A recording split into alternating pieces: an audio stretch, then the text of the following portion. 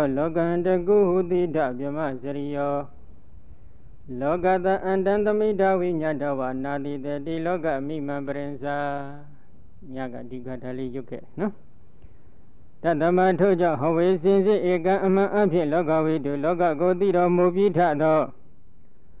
သူမေတော်ကောင်းသောပညာရှိတော်မူထသောလောကတကူပရိညာပိသမယဖြင့်လောကဤအဆုံးတိုင်အောင်သိရှိတော်မူသည်ဖြစ်၍ မဟာနာပိသမယဉာဏ်တော်မြတ်ဖြင့်လောကအဆုံးသို့ရောက်တော်မူပြီးထသောပရိညာပိသမယဆိုတာကစัจ java လာဂရေတသိန်းဖြင့်ပိုင်းခြားထအပ်တဲ့နယ်ပယ်အတွင်း၌တည်ရှိနေတဲ့ယုတ်နံပရမတ္တဒါသမှန်သမျှကိုတဘာဝလက္ခဏာစိုက်အောင်ဂုံစင်အောင်ထိုးထွင်းသိမြင်တော်မူတဲ့ဉာဏ်တော်ပဲနော်အဲ့ဒီလိုသိတဲ့အခါမှာဒီယုံနံဓမ္မသင်္ခါရတရားတွေကို ပရမနုမြို့ကပရမတ္တဒါသတော့မကြအကုန်အစင်သိတော်မူတယ်အကြောင်းတရားတွေကိုလည်းအကုန်စင်သိတော်မူတယ်အကြောင်းတရားနေတဲ့ကွာဒီယုံနံတရားအနိစ္စအချက်ဒုက္ခအချက်အနတ္တအချက်တွေကိုလည်းဂုံစင်အောင်သိတော်မူတယ်အဲ့ဒီလိုသိတော်မူလိုက်တဲ့အတွက်မဟာနာဘိသမ ्या လည်းခေါ်ဆိုအပ်တဲ့ဝိပဿဘင်္ဂဉာဏ်ကနေစပြီးအထက်ပိုင်းဝိပဿနာဉာဏ်ဤအခိုက်မှာတရင်ကအဖြစ်ကိလေသာတွေကိုပယ်တတ်တော်မူခဲ့ပါတယ်။ နောက်ဆုံးအရိယာမေတရားစိုက်သွားတဲ့အချိန်ခါမှာအရိယာမေဉာဏ်ကဒီသင်္ခါရတရားတွေအပေါ်၌တွေ့တတ်တတ်မဲ့နေတဲ့တဏှာရာကအမှုရှိနေတဲ့ကိလေသာအပေါင်းကိုအကျွတ်မဲ့ပယ်တတ်တော်မူတယ်။ဒါကြောင့်ဥဒ္ဒနောဘုရားရှင်ဒီလောကရဲ့အဆုံးကိုရောက်ရှိသွားတယ်လောကရဲ့အဆုံးကိုရောက်ရှိတယ်ဆိုတာကမန္တရာဝုတ်ကိုလည်းပတ်စေတတ်တဲ့ အဝိဇ္ဇာတနာဥဆောင်နေတဲ့ပရိစ္ဆသမုပ္ပါတန္တရာဆက်ရဟရဲ့တောက်အကနေကိုအကုန်လုံးဒီအရတ္တမဲ့ဉာဏ်တန်လျက်ဖြင့်ချိုးဖက်နိုင်တဲ့စွမ်းအားကြောင့်နောက်ထပ်ဒီခန္ဓာနတ်ဓာတ်သစ္စာလို့ခေါ်ဆိုအပ်တဲ့ပရိစ္ဆသမုပ္ပါတန္တရာဆက်ရကြီးလည်းပတ်ခွင့်မရှိတော့ဘူးရပ်ဆိုင်သွားတယ်ရပ်ဆိုင်တော်မူတဲ့အတွက်လောကရဲ့အဆုံးကိုရောက်ရှိသွားတယ်လို့ဒီလိုဆိုလိုပါတယ်နော်ဒါကြောင့်တသမထိုကြောင့်ဟဝေစင်စစ်ဧကံအမှန်အဖြစ်လောကဝိဒုလောကကိုသိမြင်တော်မူထသော သူမေတော်ကောင်းသောပညာရှိတော်မူထသောလောကတကူလောကကြီးအဆုံးကိုပရိညာဘိသမယဉာဏ်တော်မြတ်ဖြင့်လောကကြီးအဆုံးကိုသိရှိတော်မူသည်ဖြစ်၍ဗဟာနာဘိသမယဉာဏ်တော်မြတ်ဖြင့်လောကကြီးအဆုံးသို့ရောက်တော်မူပြီးထသောဝိတိတာမြမစရိယောကျင့်သောအပိသောအရိယမေတိဟုသောမြတ်သောအကျင့်ရှိတော်မူထသောဘုရားရှင်သည်အရိယမေတရားဆိုတဲ့မက်ကမြမစရိယအကျင့်ကိုကျင့်သုံးပြီးဖြစ်နေပြီနောက်ထပ်ထပ်ကျင့်ပွဲ မလိုတော့ဘူးဆုံးခန်းတဲ့ရောက်သွားပြီနော်ဒါကြောင့်ဝိတိတာမြမစရိယောကျင့်သုံးအပိသောအရိယမေတိဟုသောမေကမြမစရိယအမိရတော်မူသည့်မြတ်သောအကျင့်ရှိတော်မူထသောသမိတာဝီအလုံးစုံသောကိလေသာအပူမီမှန်သမျှကိုငြိမ့်အေးစေတော်မူပြီးထသောဝါသမိတာဝီသစ္စာလျာတရားမြတ်ကိုပရိညာဘိသမယသာသောဉာဏ်တော်မြတ်ဖြင့်ထွန်းဖော်သိမြင်တော်မူပြီးထသော တထကတော်ရှေးဖျားရှင်တို့ကဲ့သို့နိဗ္ဗာန်သို့ကောင်းမွန်မှန်ကန်သောသမ္မာပฏิပတ်အကျင့်များဖြင့်ကြွသွားတော်မူသောတထကတအမိရတော်မူသောဘုရားရှင်သည်လောကသာလောကဤအန္တအဆုံးအပိုင်းခြားကိုညတဝါသိရှိတော်မူသည်ဖြစ်၍ဣမံလောကဤလောကကို၎င်းပရိစ္ဆလောကတပါသောလောကကို၎င်းနာတိတတိတောင်းတတော်မမူဘုရားရှင်ကဒီလောကကိုလည်းတောင်းတတော်မမူဘူး တခြားတခြားသောတမလွန်လောကတွေကိုလည်းတောင်းတတော်မမူဘူးဘာဖြစ်လို့လဲအမှန်အတိုင်းသိနေလို့တောင်းတနေကြတာကဘာကြောင့်တောင်းတတယ်အမှန်အတိုင်းမသိကြလို့အမှန်အတိုင်းမသိတဲ့ပုဂ္ဂိုလ်တွေကတောင်းတတယ်အနိစ္စတရားလို့အမှန်တိုင်းမသိတဲ့ပုဂ္ဂိုလ်တွေကဒီအနိစ္စဖြစ်တဲ့ယုတ်ဒီနံတွေကိုတောင်းတကြတယ် ဒုက္ခတရားလို့အမှန်တိုင်းမသိတဲ့ပုဂ္ဂိုလ်တွေကဒီဒုက္ခဖြစ်တဲ့ယုတ်ဒီနံတွေကိုတောင်းတကြတယ်အနတ္တတရားပဲလို့အမှန်တိုင်းမသိတဲ့ပုဂ္ဂိုလ်တွေကအနတ္တဖြစ်တဲ့ဒီယုတ်ဒီနံတွေကိုတောင်းတကြတယ်ဘုရားရှင်ကတော့အနိစ္စတရားအစစ်အမှန်ဖြစ်တယ်လို့သိတယ်မတောင်းတဘူးဒုက္ခတရားအစစ်မှန်ဖြစ်တယ်လို့လည်းသိတော်မူတယ်မတောင်းတဘူးအနတ္တတရားအစစ်မှန်ဖြစ်တယ်လို့လည်းသိတော်မူတယ်မတောင်းတတော့မတောင်းတရင်လည်းမဟုတ်ဘူးဒီအနိစ္စဒုက္ခအနတ္တဖြစ်နေတဲ့ ယုတ်နံဓမ္မသင်္ခါရတရားတွေဘယ်မှာချုပ်တယ်လဲချုပ်ငိဟာကိုလည်းသိတော်မူတယ်ထိုချုပ်ငြိမ်းရာသို့ရောက်ရရောက်ကြောင်းဖြစ်တဲ့မဂ်ခင်ရှိပါအကျင့်မြတ်တရားလို့ခေါ်ဆိုအပ်တဲ့ကောင်းမွန်မှန်ကန်တဲ့သမ္မာပฏิပတ်အကျင့်မြတ်တွေကိုလည်းသိတော်မူတယ်။ဒါကြောင့်ဝိဇ္ဇနုဘုရားရှင်ရဲ့လောကကိုသိတော်မူချက်သည်လေးဘက်လေးတန်ကလှည့်လှည့်ပြီးကြည့်လိုက်မယ်ဆိုရင်အလုံးပြည့်စုံမနေဘူးလားပြည့်စုံတယ်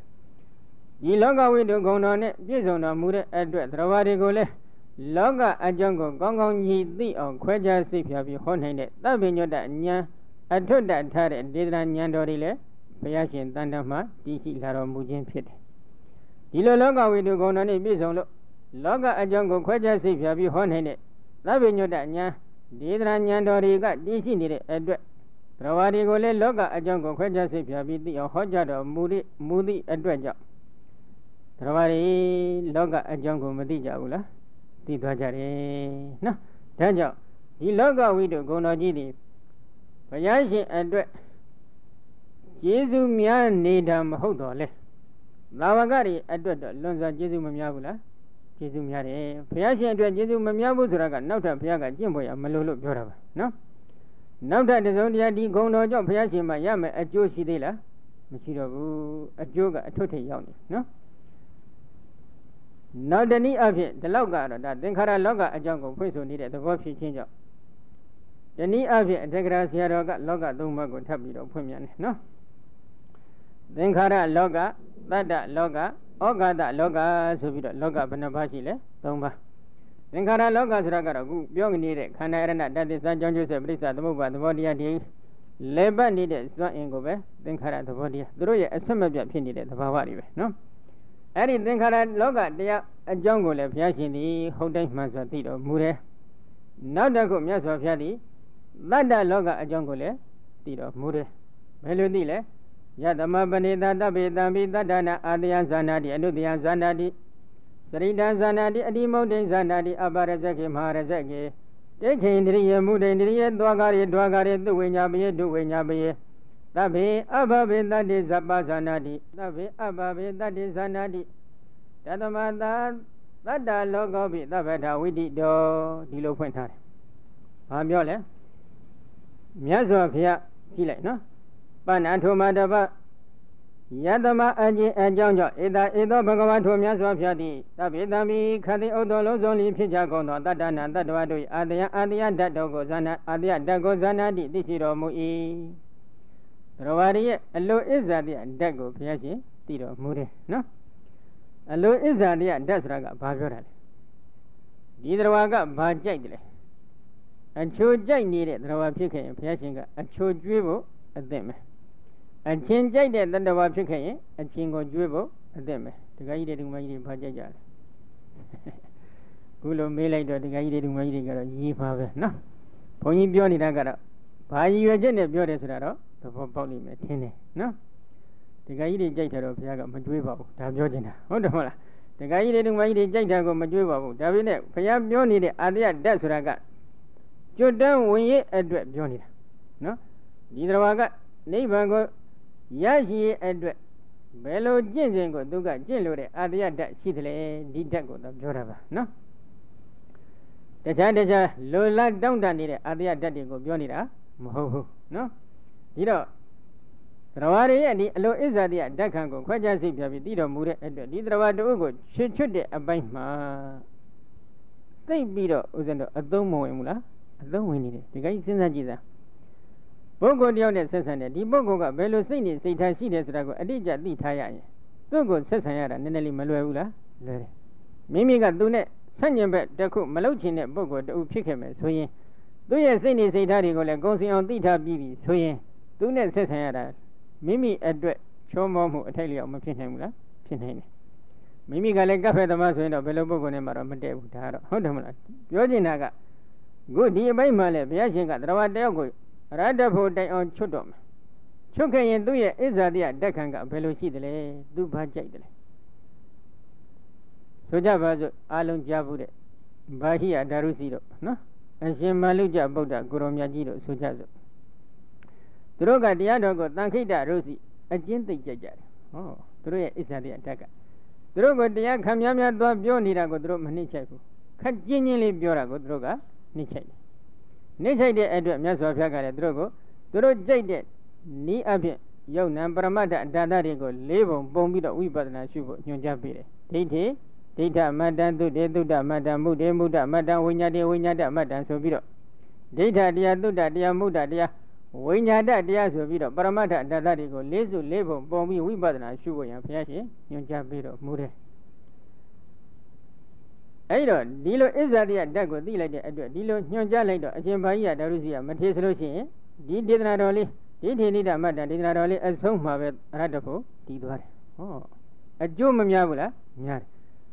ဘယ်ညံတော်ကကျေစုပြုအများဆုံးကျေစုပြုပေးတယ်လဲအာတယန္တုတိယညံတော်ပဲ သရဝါတွေရဲ့အလိုအစ္ဆာတိယတက်ခံကိုသိနေတဲ့ဒီညံတော်ကသရဝါတွေကိုကြွတန်းဝင်ရဲ့အတွက်ခြေချွတ်တဲ့နေရာမှာတိတ်ပြီးတော့အသုံးဝင်နေတယ်ဒီလိုဆိုရင်သရဝါတွေကိုအစ္ဆာတိယတက်ခံကြည့်ပြီးအရဟတဖို့တိုင်အောင်ခြေချွတ်ပေးမယ်ဆရာတဆူလောကမှာဒီနေ့ထင်ရှားရှိကြမယ်ဆိုရင်အရဟတဖို့အထွတ်တန်ထားတဲ့နိဗ္ဗာန်ကိုလိုလားတောင့်တနေတဲ့အမျိုးကောင်းသားအမျိုးကောင်းသမီးမှန်ခဲ့ရင်ဒီဆရာမျိုးကိုမကိုးခွေတိုက်ဘူးလားကိုးခွေတိုက်တယ်ဒါသိအရေးကြီးတယ်နော် ခုတော့ဥစ္စနုကဒီလိုအစ္ဆာတိယတက်ခံကိုသိနိုင်တဲ့ညံစွမ်းညံစကနည်းနည်းလေးမှမရှိတော့ဘာလို့ ਆ လဲမှန်းကြိတ်နေရတာပဲမှန်းကြိတ်တော့ဆရာသမားလည်းပင်မနဲ့တပည့်လည်းပင်မတာပဲဒီတော့ဘာဖြစ်လို့ဒီဆရာတပည့်တွေလာပြီးဒီလိုပင်မနေကြရတယ်လို့မေးလိုက်တော့ဘယ်လိုသဘောပေါက်ကြလဲနောက်ဆွဲမှာနောက်ဆွဲမှာကောင်းမှုကုသိုလ်ပြုစဉ်အချိန်ခါကနောက်ဆွဲမှာပြုခဲ့ကြတယ်ဥစဉ်တို့သင်ရှားတဲ့ထုံးဆိုတော့ မဟာတိဝမထေကြီးတို့ကြည့်ပေါ့နော်ဘုရားလောင်းအယောဂရမင်းသားလေးတောထွက်စဉ်အခါဟတိပလဇမဟတိပလသရောသာဥဆောင်ပြီးတောထွက်စဉ်အချိန်ခါခုနှစ်ပြည်တောင်သောမင်းကြီးမင်းသားတွေနှင့်တကွတိုက်သူပြည်သားတွေအကုန်လုံးတောထွက်ကြတယ်မဟာတိဝမထေကြီးတို့အုပ်စုကအဲ့ဒီခုနှစ်ပြည်တောင်သောမင်းကြီးမင်းသားတွေနှင့်တကွတိုက်သူပြည်သားတွေအလုံးတောထွက်တဲ့အပိုက်မှသူတို့ကြိုင်းခဲ့တယ်လိုက်မသွားဘူးသူတို့ကထိုချိန်ခါကအခါသမားတွေဖြစ်နေကြတယ် နောက်ပိုင်းကြတဲ့အခါကျတော့မှသူတို့ကြီးကြံနေတော့ပြင်းထန်တယ်သူတို့လည်းတောထွက်ပြီးတော့နောက်ကနေလိုက်သွားတယ်ကောင်းမှုကုသိုလ်ပြုတဲ့အချိန်ခါမှာနောက်ကြတော့ကျွတ်တန်းဝင်တဲ့အချိန်ခါမှာလည်းနောက်ဆွဲကပဲကျွတ်ရတယ်ခုတော့ဒီနေရာမှာအလုံးဟောတဲ့ပုဂ္ဂိုလ်ကနားတဲ့ပုဂ္ဂိုလ်ကဘယ်လိုပုဂ္ဂိုလ်တွေလဲနောက်ဆွဲတွေပဲဒီတော့ကောင်းမှုကုသိုလ်ပြုစဉ်အခါတုန်းကခြေတန်းကနေမပါခဲ့ကြဘူးနောက်ဆွဲကနေနေခဲ့ကြတော့အခုသာသနာနောက်ပိုင်းမှာလာပြီးကြုံကြတော့နှစ်ဖက်လုံးမှာမဖြစ်ကြလဲပ င်ပန်းကြတယ်ဆင်းရဲကြတယ်ဒါကြောင့်ထိတ်တန်းဘဝတစ်ခုဆိုတာရှိနေခဲ့ရင်ထိတ်တန်းဘဝတစ်ခုကရအောင်တော့ကြိုးပမ်းထားဖို့မကောင်းဘူးလားကောင်းတယ်ဒါအခုနေချင်းကမှထိတိမိမိမျိုးစေ့ကောင်းလေးတွေစရဏမျိုးစေ့ကောင်းဝိဇ္ဇာမျိုးစေ့ကောင်းတွေထူထောင်ထားဖို့လိုအပ်နေတယ်နော်ကဲဒီတော့ဦးဇင်းတို့ဒီဘုရားရှင်ဒီအာတယကိုသာသိရင်ဒီလောက်တင်လားဆိုတော့မဟုတ်သေးဘူးအနုတယအနုတယဓာတ်ကိုဇာနာတိသိရှိတော်မူ၏ဒီတော်တည်းရဲ့တန်တမှာကိဝနေတဲ့ အနုတ္တိယဓာတ်တွေကအထူးအပဘလောက်ရှိတယ်လဲလှမ်းကြည့်ဘုရားမြင်တယ်ရာဂဓာတ်တွေသူ့မှာဘလောက်အထိထူးထဲနေတယ်လဲဒေါသဓာတ်တွေကဘလောက်ထူးထဲနေတယ်မောဟဓာတ်တွေကဘလောက်ထူးထဲနေတယ်လဲဆိုတာလှမ်းကြည့်မြင်တော်မူတယ်မြင်တော်မူတဲ့အချိန်ကမှဒီတော်ကိုဘယ်လမ်းကနေငါခြေချွတ်ပေးမှနိဗ္ဗာန်ကိုဝင်နိုင်လိမ့်မယ်ဆိုတာကိုတဆင့်တက်ပြီးမြတ်စွာဘုရားသိတော်မူမြင်တော်မူပါတယ်နော်ဒါကြောင့်ဒီ တရားဝရရဲ့တန်တမာတိရှိနေတဲ့ကိဝနေတဲ့အငုတ်တအနုတ္တယဓာတ်တွေကိုထိုးထွင်းသိခြင်းလေဒီတရားဝတယောက်ကိုခြေချွတ်တဲ့အပိုက်မှာအလွန်ကျေးဇူးမများဘူးလားများနေတယ်နောက်တစ်ခုစရိတံတရားဝတို့ရဲ့ဇယိဝါဒနာကိုဇာနာတိသိရှိတော်မူ၏ဒီတရားဝကဗုဒ္ဓိစရိုက်ပညာစရိုက်များတဲ့ပုဂ္ဂိုလ်ဒီတရားဝကဝိတ္တစရိုက်များတဲ့ပုဂ္ဂိုလ်ဒီတရားဝကတရားစရိုက်များတဲ့ပုဂ္ဂိုလ်ဆိုပြီးတော့ဇယိကိုလည်းသိတယ်တစ်ဖက်ကျတော့လည်းဒီပုဂ္ဂိုလ်ကရာဂစရိုက်များတယ်ဒီပုဂ္ဂိုလ်ကဒေါသစရိုက်များတယ် ဒီပုဂ္ဂိုလ်ကမောဟစိတ်များတယ်ဆိုပြီးတော့လည်းသိအဲ့ဒီလိုဇယမျိုးမျိုးကိုသိတဲ့အတွက်ဘာဖြစ်လဲအာနာပါနတတိဘိက္ခွေဘာဝေတဘာဝိတကိုပိစေတာယာစသည်ဖြင့်ဘုရားဟောထားတဲ့အတိုင်းဝိတ္တဇယများနေတဲ့ဉာဏ်စီစိတ်တွေကလည်းသိထွက်နေပြီဝိတ္တတွေကသိများနေဒီပုဂ္ဂိုလ်ကိုဘုရားရှင်ကဒီဝိတ္တကိုဖြတ်တော့နှံရေးအတွက်ဘယ်ကမ္မထဟောပေးတယ်အာနာပါနကမ္မထဟောပေးတယ်မြတ်တော်အဖြစ်နော် အတုဘဘဝိတဗရာဂတပဟာနာယပုဂ္ဂိုလ်တို့ကြတော့ရာဂစိတ်တွေသိအကောင်းနေတယ်သိတွေ့တယ်တလောတုန်းကဒကာကြီးဇနီးမောင်နှံနှစ်ဦးရောက်ရှိလာပါတယ်ဒကာကြီးကပုံမှန်လင်းလင်းပဲလျှောက်ထားတယ်ဒီဒကမာကြီးကိုတပည့်တော်ကကျွတ်စင်ခြင်းလို့ဗျာကျောင်းမှာသာလေးလာတရားအထုတ်တပည့်တော်သူ့ငွေ2000ပေးမယ်လို့ကိုပြောထားတယ်ဟောဘာဖြစ်လို့လဲ လင်သားအပေါ်မှာရောသားသမီးတွေအပေါ်မှာရောတွေ့တာလုံးလို့ဗျာတိတ်ကိုသူကလင်သားကိုလည်းတိတ်ဆုံးမဲ့တယ်သားသမီးတွေကိုလည်းတိတ်ဆုံးမဲ့တယ်အဲ့ဒီဆုံးမဲ့နေတဲ့ဒီစိတ်ထားတွေတပည့်တော်ကသူ့မှာမဖြစ်စေချင်တော့ဘူးသူ့ကိုကောင်းရာတုကတိရောက်စေခြင်းနဲ့ဒါကြောင့်လေးလာတာကြောင့်မှနေပါငွေ2000ပေးပါမယ်လို့တပည့်တော်အမခံပြီးသူ့ကိုခေါ်လာခဲ့ပါတယ်အဲ့ဒီဒကမကြီးကဒီငွေ2000မဲ့တလားမဲ့ပုံမပေါ်ဘူးသူကခက်မြမြပြန်လက်သွားတယ် သူကဒါရာဂစရိုက်ကသိအကောင်းနေတယ်တွေ့တတက်မဲ့နေတဲ့ရာဂဓာတ်တွေကသိအကောင်းနေတော့ तू မခွဲနိုင်ဘူးတဲ့စိတ်မချဘူးတဲ့ဘုန်းကြီးတို့ तू မခွဲနိုင်ဘူးလို့ပြောရင်တော့ရိုင်းလို့နဲ့အတူပါရဲ့နော်အိမ်ကိုနည်းနည်းစိတ်ပူနေတယ်စိတ်မချဖြစ်နေတယ်ဒီပြီးတော့ခဏပြန်လဲအောင်မယ်ဆိုခုတည်းတခါမှမပေါ်လာဘူးဟောဒီတော့ဒီသဘာဝတုကရာဂစရိုက်များပြီဆိုရင်ရာဂစရိုက်များနေတဲ့ပုဂ္ဂိုလ်လို့သိရင်ဘုရားကဘာလုပ်လဲအတုဘဘဝေတဗရာဂတဗဟာနာယ ရာဂတိုက်ဖြစ်ရင်အတွက်အတုဘဘာဝနာကမ္မထံစီးပြမှာဆိုပြီးတော့ဖြစ်တာ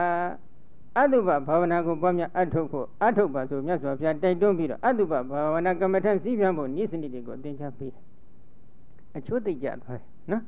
ပုဂ္ဂိုလ်တို့ကြည့်လိုက်တော့အမလီအထိမခံနည်းနည်းလေးမှထိလို့မရဘူးရှုကနေရှဲကနေချက်ချင်းဖြစ်လာတယ်ဒေါသတွေထောင်းကနေထွက်လာဒီဒေါသပြည့်များတဲ့ပုဂ္ဂိုလ်ကျတော့ဘာလို့ ਆ လဲ မေတ္တာဘဝေတပဗျာပါဒတာဗဟာနာယဟောဗျာပါရဒေါသကိုတိုက်ဖြစ်နှံ့ရေးအတွက်မေတ္တာဘာဝနာကမ္မထံကိုဘုရားရှင်ညွှန်ကြားပြတာဆွဆုံးမှပြီးတော့မူတယ်ဒီတော့ဒီတရားရဲ့အစ္ဆတရားဓာတ်ခံကိုဒီလိုကြည့်လိုက်လို့သိလိုက်တာနဲ့ဘယ်ကမ္မထံပြီးရင်တော်မယ်ဆိုတာတမ်းပြီးသိလိုက်တော့အဝင်ခွင်ကြဖြစ်မသွားဘူးလားဖြစ်သွားတယ်သိကောင်းတယ်သိကောင်းတယ်ဒါကြောင့်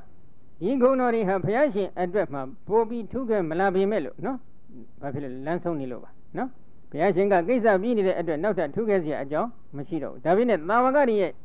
ကျွတ်တန်းဝင်နိုင်ရေးအတွက်တော့ဒီဂုဏ်တော်တွေဒီသိပြီးတော့ကျေးဇူးမများဘူးလားကျေးဇူးများနေတယ်နောက်တစ်ခုအတိမုတ်တိန်ဇာနာတိအတိမုတ်တိန်နှလုံးသွင်းညုတ်ကိုင်းဆိုင်နေတဲ့စိတ်ဓာတ်ကိုဇာနာတိသိသူကဘယ်ဘက်ကိုစိတ်ဓာတ်တွေကညုတ်ကိုင်းဆိုင်နေလဲတခါကြီးတွေဘယ်ဘက်များစိတ်ဓာတ်တွေညုတ်ကိုင်းဆိုင်နေကြဟောရည်နေတယ်ရည်နေတယ်နော်အဲ့တော့ဒီသဘာကငါဘယ်လိုချစ်ချုပ်ရမလဲ သူကနှစ်ဖန်များအိမ်ပြန်ဖို့စိတ်ဓာတ်တွေများညုတ်ကိုင်းဆိုင်နေတာဟုတ်တယ်မလားတပတ်ကအိမ်ပြန်မျိုးမှစဉ်းစားနေလိုက်အာသူကဘုန်းကြီးကငါဘယ်လိုလှည့်ရမလဲဘယ်အကွက်ကနေဘုန်းကြီးပြောပြီးရှောက်လိုက်ရင်တော့ဒီဘုန်းကြီးမလှုပ်ဖက်နေနဲ့ညတော့ကဟိုနိဂန္ဓအနန္တဗုဒ္ဓကြီးမေခွန်းတစ်ခုမေးဖို့ရအတွက်လေးလာကြအောင်ကြံစီထားသလိုပေါ့နော်နော်ဘုန်းကြီးကိုဘယ်ကွက်ကနေလျှောက်လိုက်တော့ဒီဘုန်းကြီးလှုပ်လို့မရတော့ဘူးဒီပုံစံစနစ်နဲ့သူက နှလုံးသွင်းညှုတ်ကိုင်းဆိုင်နေတဲ့စိတ်ဓာတ်ဒါကိုကြည့်တချို့ကမြမပြည်ကိုညှုတ်ကိုင်းဆိုင်တယ်တချို့ကနတ်ပြည်လောကကိုညှုတ်ကိုင်းဆိုင်တယ်တချို့ကနိဗ္ဗာန်ကိုညှုတ်ကိုင်းဆိုင်တယ်စသည်ဖြင့်ညှုတ်ကိုင်းဆိုင်နေတဲ့စိတ်ဓာတ်တွေတူသလားမတူကြဘူးသရဝတ္တုနော်တချို့ကဟိနာတိမုတ်တိကယုတ်ညံ့တဲ့စိတ်ထားနှလုံးသွင်းညှုတ်ကိုင်းဆိုင်မှုရှိတယ်တချို့ကပဏိတာတိမုတ်တိကမွန်မြတ်တဲ့စိတ်ထားရှိတယ်မွန်မြတ်တဲ့အာယုန်တွေပေါ်နဲ့နှလုံးသွင်းညှုတ်ကိုင်းဆိုင်တဲ့စိတ်ထားရှိတယ် လောကမှာတကယ်ကြီးတွေတရားအမျိုးမျိုးနဲ့ဆက်ဆံနေရတဲ့အပိုင်းမှာဒီလိုနှလုံးသွင်းညှုတ်ကိုင်းဆိုင်ပြီးယုတ်ညံ့တဲ့စိတ်ထားရှိတဲ့ပုံကိုယ်တွေလည်းမတွေ့ရဘူးလားတွေ့ရတယ်မွန်မြတ်တဲ့စိတ်ထားရှိပြီးတော့နှလုံးသွင်းနေမွန်မြတ်နေတဲ့ညှုတ်ကိုင်းဆိုင်တဲ့စိတ်ထားရှိနေတဲ့သူတော်ကောင်းတွေလည်းမတွေ့ရဘူးလားတွေ့ရတယ်တွေ့လိုက်တဲ့အချိန်ခါမှာဘယ်ပုဂ္ဂိုလ်ကဘယ်လိုနှလုံးသွင်းဓာတ်ခံရှိတယ်ဆိုတာနဲ့ပတ်သက်လို့တော့ အပေါ်ယံသမ္မာအနေနဲ့ကြည့်ရင်သိဖို့လွယ်ပါမလားမလွယ်ဘူးဘာဖြစ်လို့လဲလောကကြီးကနှုတ်ခမ်းလေးပြည့်ရည်ဆန်းဆန်းပြီးတော့လာပြီးချော့တတ်ကြတယ်ဟုတ်တယ်မလားကိုယ်ရကြရင်တော့ပုံစံတစ်မျိုးပဲရှင်းမှကြရင်တော့အမလီသူ့တဲ့ကောင်းတဲ့မိတ်ဆွေတယောက်မှမရှိဘူးလောကမှာသူကအကောင်းဆုံးမိတ်ဆွေတူဖြစ်အောင်ပြောသွားတယ်ကိုယ်ရကြရင်တော့ဒီကောင်းမှတော့ငါနည်းနည်းမှကြည့်လို့မရဘူးဟောဖြစ်ပြီကိုယ်ရကြတော့တစ်မျိုးရှင်းမှတစ်မျိုး နှုတ်ခမ်းလေးပြည့်ရည်ဆန်းဆန်းပြီးပြောသွားတဲ့ပုဂ္ဂိုလ်တွေလောကမများဘူးလားများကြတယ်ဘုရားရှင်ကဒါတော့လိန်လို့မရဘူးဒီပုဂ္ဂိုလ်မှာနှုတ်ခမ်းပြည့်ရည်ဆန်းပြီးပြောနေတဲ့ဟိနာတိမုတ်တိကယုံညံ့တဲ့စိတ်ထားတွေရှိမရှိဘုရားရှင်ကလှမ်းထောက်လိုက်သိနေတယ်ဒီပုဂ္ဂိုလ်မှာလင်းလီလှည့်ပြတ်တတ်တဲ့စိတ်ထားတွေမရှိဘူးမွန်မြတ်တဲ့စိတ်ထားတွေရှိတယ်လှမ်းကြည့်သိနေတယ်သိနေတဲ့အတွက်ယုံညံ့တဲ့စိတ်ထားရှိတဲ့ဒီတော်ကိုဒီယုံညံ့တဲ့စိတ်ထားဘဝမှာလွတ်မြောက်အောင်ငါဘုရားဘယ်လိုကဲတင်ရမလဲလှမ်းကြည့်သိတယ် မွန်မြတ်တဲ့စိတ်ဓာတ်ရှိနေတဲ့ပုဂ္ဂိုလ်တွေကိုဒီမွန်မြတ်တဲ့စိတ်ဓာတ်တွေကိုအခြေခံပြီးတော့နိဗ္ဗာန်သို့ရောက်အောင်ငါဘုရားဘယ်လိုပို့ပေးရမလဲလှမ်းကြည့်မြင်တယ်ဒီတဲ့အကောင်းတဲ့ဆရာသမားလောကဘယ်ရှိအောင်မလဲမရှိနိုင်ဘူးအမတန်ကိုယ်ကိုယ်တိုက်တယ်နော်ဒါလောက်ကိုယ်ကိုယ်တိုက်နေတဲ့ဆရာသမားတအုပ်ကိုကြိုးခိုင်းပြီးတော့ဟိုဘက်ကဟိုဘက်နမ်းမှာဟိုဘက်နမ်းမှာဟိုဘက်နမ်းဆိုတာဘာပြောတာလဲဘုရားရှင်ရဲ့ဟိုဘက်နမ်းမလေးပါဟုတ်တယ်မလားဘာတွေရှိနေလဲအများကြီးပဲအများကြီးပဲအဲ့ဒီမြင်းပြူတွေမြင်းကြီးတွေလည်းပါတယ်နဲ့တူတယ်နော် သူကကိုယ်ွယ်စိတ်ကနေတာတွေကကြောခိုင်းသွားပုံလေးပြောပါတယ်နော်နောက်တစ်ခုအပရဇကေမဟာရဇကေအပရဇကေနေပါသောကိလေပညာမျက်စိနဲ့နေပါသောကိလေသာမြုံမုံရှိကြကုန်သောတတ္တိတ္တဝါတို့ကိုပဇာနာတိသိတော်မူ၏မဟာရဇကေပညာမျက်စိနဲ့ထူထောမြထူထပ်များပြားနေတဲ့ကိလေသာမြုံမုံရှိ၍နေကြကုန်သောတတ္တဝါတို့ကိုလည်းပဲပဇာနာတိသိတော်မူ၏ဘယ်ပုဂ္ဂိုလ်ကြီးကြတော့ ပညာမျက်စိမှာကိလေသာမြုံမုံလေးနည်းနည်းပဲရှိတော့တယ်ဘယ်ပုဂ္ဂိုလ်တွေကြတော့ပညာမျက်စိမှာကိလေသာမြုံမုံတွေကသိပြီးထူထပ်နေတယ်လှမ်းကြည့်မြင်တော်မူတယ်ကိလေသာမြုံမုံနှဲပါနေပြီငါဖျက်ဒီနေ့တော့ဒီတော်ကိုချွတ်ရတော့မယ်ကျွတ်တဲ့ပြီဆိုတာဖျက်သိရင်သွားပြီးချီချွတ်ပြီးတော်မူတယ်ဒီနေ့မှတော့ဒီတော်ကကိလေသာတွေကသိထူထပ်နေသေးတယ်ငါဖျက်ချွတ်လို့မရနိုင်သေးဘူးမရနိုင်သေးရင်တော့ဒီနေ့ငါသူ့ကိုမချွတ်သေးဘူးစောင့်ဆိုင်နေအောင်ပါပဲဘယ်ချိန်ကကြမှာသူကျွတ်တန်းဝင်မယ်ဆိုတာလှမ်းကြည့်တော့လေမြင်နေပြီ သူ့ရဲ့ကိလေသာမြုံမုံနေပါသည့်အဆင့်တိုင်အောင်ဘုရားရှင်ကစောင့်ဆိုင်တော်မူရပါတယ်ဥပမာရှင်ရဟုလားဆိုကြစို့နော်ခொနနေသားကတည်းကသာသနာပေါ်ဝင်ရောက်ပြီးရှင်ရန်ပြုလာပြီမဲ့လို့ဘုရားရှင်မမဟာကရုဏာတော်တတ်အပြည့်ဝရှိပါတယ်ဒါပေမဲ့လို့ချွတ်လို့မရသေးတော့လေစောင့်ဆိုင်နေရတယ်ယဟန်တဝါရောက်တော့တဲ့အချိန်ခါကြမှာနှစ်အနေနဲ့ရစ်တွေ့ရင်တော့သာသနာပေါ်ဝင်ရောက်ပြီး73နှစ်လောက်ကြာမှအရတ္တဖို့တိုင်အောင်ဘုရားရှင်ချီးကျူးပေးတော်မူရပါတယ်ဒီ73နှစ်ကာလအတွင်းမှာ သီလကျင့်စဉ်သမာဓိကျင့်စဉ်ပညာကျင့်စဉ်တွေကိုတင်းဆောင်ပြီးမတော့အောင်ဘုရားရှင်သည်ချက်မှတ်ထားပြီးတော့မူပါတယ်ဒီတော့ဘယ်ချိန်ခါကြမှသူ့ရဲ့ပညာမျက်စိမှာကိလေသာမြုံမုံကနေပါမယ်ဆိုတာမြတ်စွာဘုရားသိတယ်ဒီတော့ထူထပ်နေပြီဆိုရင်လည်းဒီကိလေသာမြုံမုံတွေထူထပ်နေတဲ့ကိလေသာမြုံမုံတွေကိုပတော့အောင်ငါဘုရားဘယ်လိုကျင့်စဉ်တွေချက်မှတ်ပေးရမယ်ဆိုတာဘုရားရှင်သိတော့ဘူးဒါကြောင့်ဘုရားရှင်သည် မဟာယောလောဝါဒသုတ်တန်းစတဲ့ထိုးထိုးသုတ်တန်တွေကြတော့တက္ကမထအကျဉ်းရှုပါးနည်းတွေဟောပြရတယ်အာနာပါနကမ္မထန်တွေဟောပြရတယ်ဒီအာနာပါနကျင့်စဉ်ကနေအရတ္တဖို့ပေါ့ဝိပဿနာဘာဝနာကမ္မထန်စီးပြန်ပုံတွေကိုဟောပြရတယ်အဲ့ဒီပုံစံလိုပေါ့လေခြေချင်းအရတ္တဖို့မရနှိမရနိုင်သေးဘူးဆိုလို့ရှိရင်လေပညာမျက်စိမှာကိလေသာမြုံမုံတွေကသိအကောင်းနေပြီဆိုလို့ရှိရင်လေစောင့်ဆိုင်ပြီးတော့တဖြည်းဖြည်းခြေချုပ်ပြရတယ်ကိလေသာမြုံမုံနေပါသွားသည့်တိုင်အောင်စောင့်ဆိုင်ပြီးတော့ သွန်သင်ပြတာအဆောဆုံးမှပေးရတယ်အကယ်၍ပညာမျက်စိမှာကိလေသာမြုံမုံတွေကနည်းနည်းပါးပါးပဲရှိတော်တယ်ဆိုတာဘုရားရှင်သိတော်မူပြီးပိဿဝကိငါးဥတို့လို့အရှင်သာရိပုတ္တရာတို့လို့အရှင်မမောကလန်တို့လို့အရှင်မကတ္တဗတို့လို့ပေါ့နော်ပညာမျက်စိလှမ်းကြည့်လိုက်တော့ကိလေသာမြုံမုံလေးကနည်းနည်းပဲရှိတော်တယ်ဆိုရင်ထိုချိန်ကမှဘုရားရှင်သည်အပင်မခံပြီးတော့နော်ဗုဒ္ဓဂါယကနေပြီးတော့ဗာရဏသီဣတိပရဏအမိရတဲ့မိဂရဝံတော့အထိခြေချင်းကြွပြီးတော့ခြေချုပ်ပြီးတော်မူတယ်ဓ မ္မစကြာတရားဟောကြားပြတာဆွဆုံးမှပြီးတော်မူတယ်ဓမ္မစကြာတရားဖြင့်ပိစဝကိငါ့ဥတို့ကသောတပတ္တိမညာဘုံညာ၌တည်စေတော်မူခဲ့ပါတယ်ထို့နောက်အနတ္တလက္ခဏသုတ်တံဒေသနာတော်မြတ်ဖြင့်အရတ္တဖို့၌တည်စေတော်မူခဲ့တယ်ပညာမျက်စိမှကိလေသာမြုံမုံနေနေပါနေပြီဆိုရင်လေနေပါတဲ့ပုဂ္ဂိုလ်တွေကိုနေပါသည့်အလျောက်မြတ်စွာဘုရားထိုက်တန်တယ်လို့ချစ်ချွတ်ပြတော်မူတယ်ဒါကြောင့်တရားတော်ကိုသိတဲ့အပိုင်းမှာ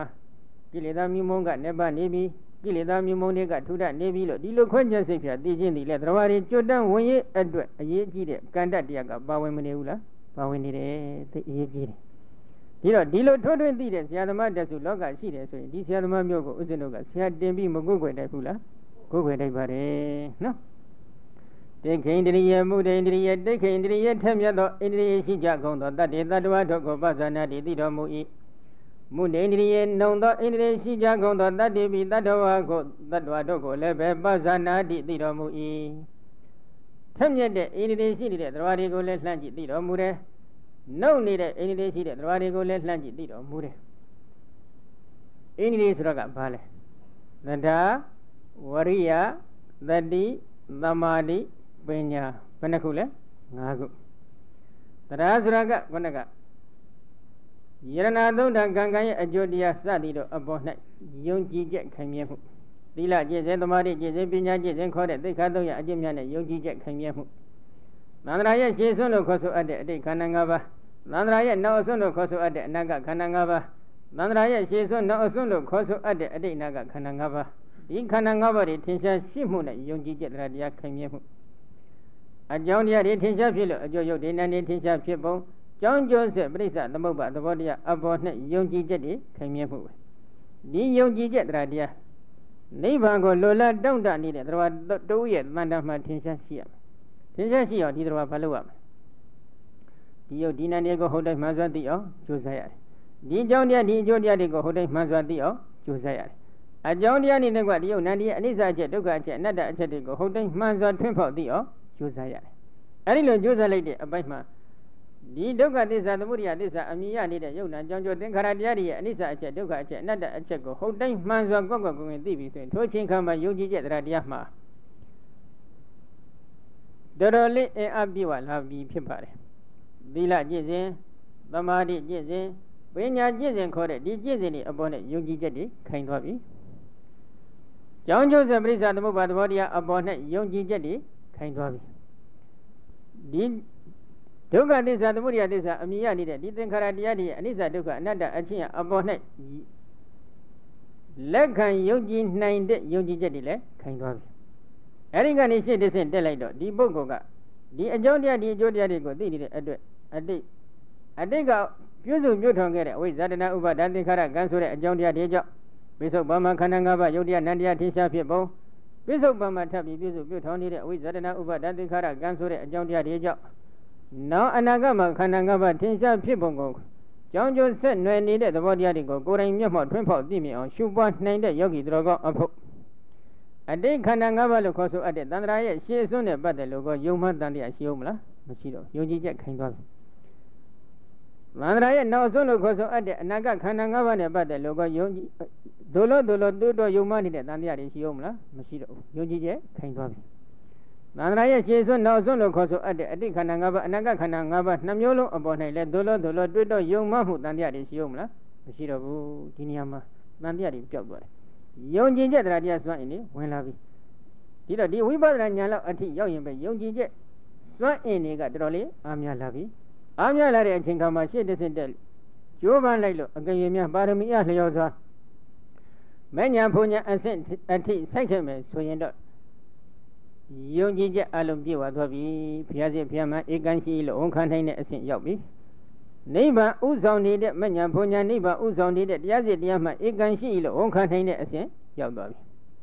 အရိယတန်မညာဘုံညာနိဗ္ဗာန်ကိုရရှိတော်မူတဲ့အရိယတန်ကအစစ်ဧကန်ရှိလို့ဝန်ခံနိုင်တဲ့အဆင့်ရောက်သွားပြီယုံကြည်ချက်ဒီဂရီတော်တော်လေးပြည့်သွားပြီနော်ဒီတော့ဒီနိဗ္ဗာန်ကိုသွားတဲ့နေရာမှာဒီယုံကြည်ချက်တရားတရားတစ်ခုထင်ရှားရှိနေဖို့တော့လိုအပ်ပါတယ် ဒီတော့ဒီယုံကြည်တဲ့တရားတရားတစ်ခုကမရှိခဲ့ဘူးထိုပုဂ္ဂိုလ်နိဗ္ဗာန်သွားရင်မှအနှောက်အယှက်တွေများစွာတွေ့နိုင်တယ်ဘယ်လိုလဲခုတခိုင်းတွေစဉ်းစားကြည့်ပေါ့ဘုရားရှင်ကမဂ်ခင်ရှင်ပါးထဲမှာတမ္မာတမာတိဆိုတဲ့မဂ်ခင်တစ်ခုထည့်ခေါ်ထားတယ်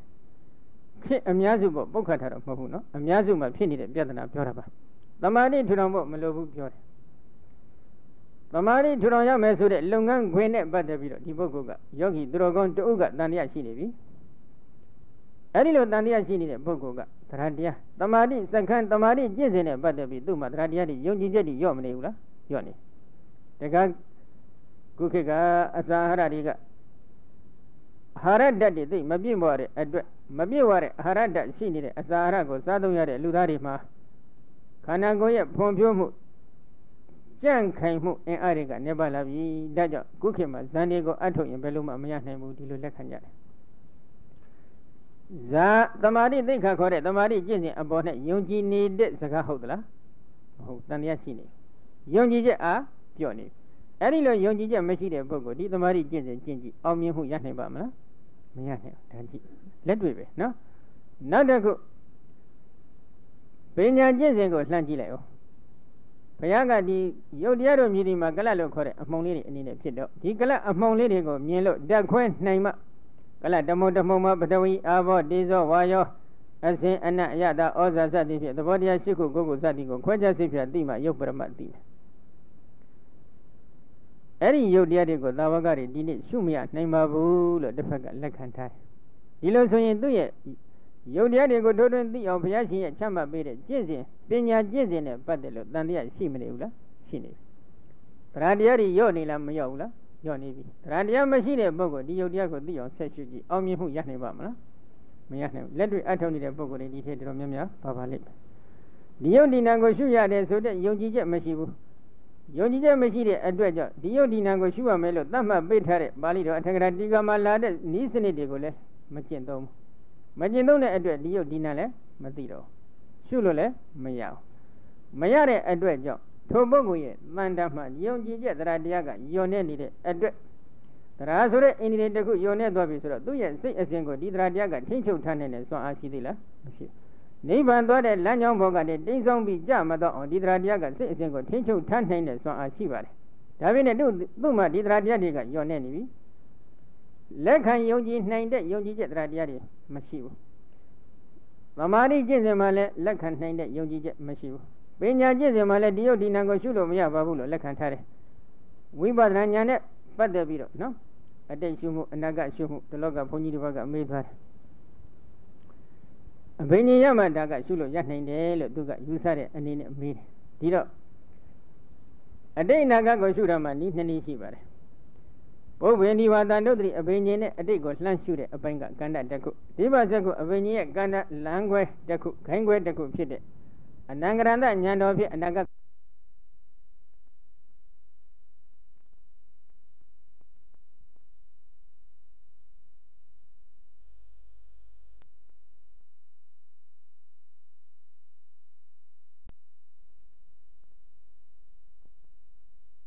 ဒီပါဇက်ကိုအဘိညာဉ်ရဲ့ဂိုင်းခွဲတစ်ခုဖြစ်တဲ့အနာဂရဏဉာဏ်တော်ဖြင့်အနာဂတ်ကိုလှမ်းရှုတဲ့အပိုင်းကကန္တတစ်ခုပေါ့နော်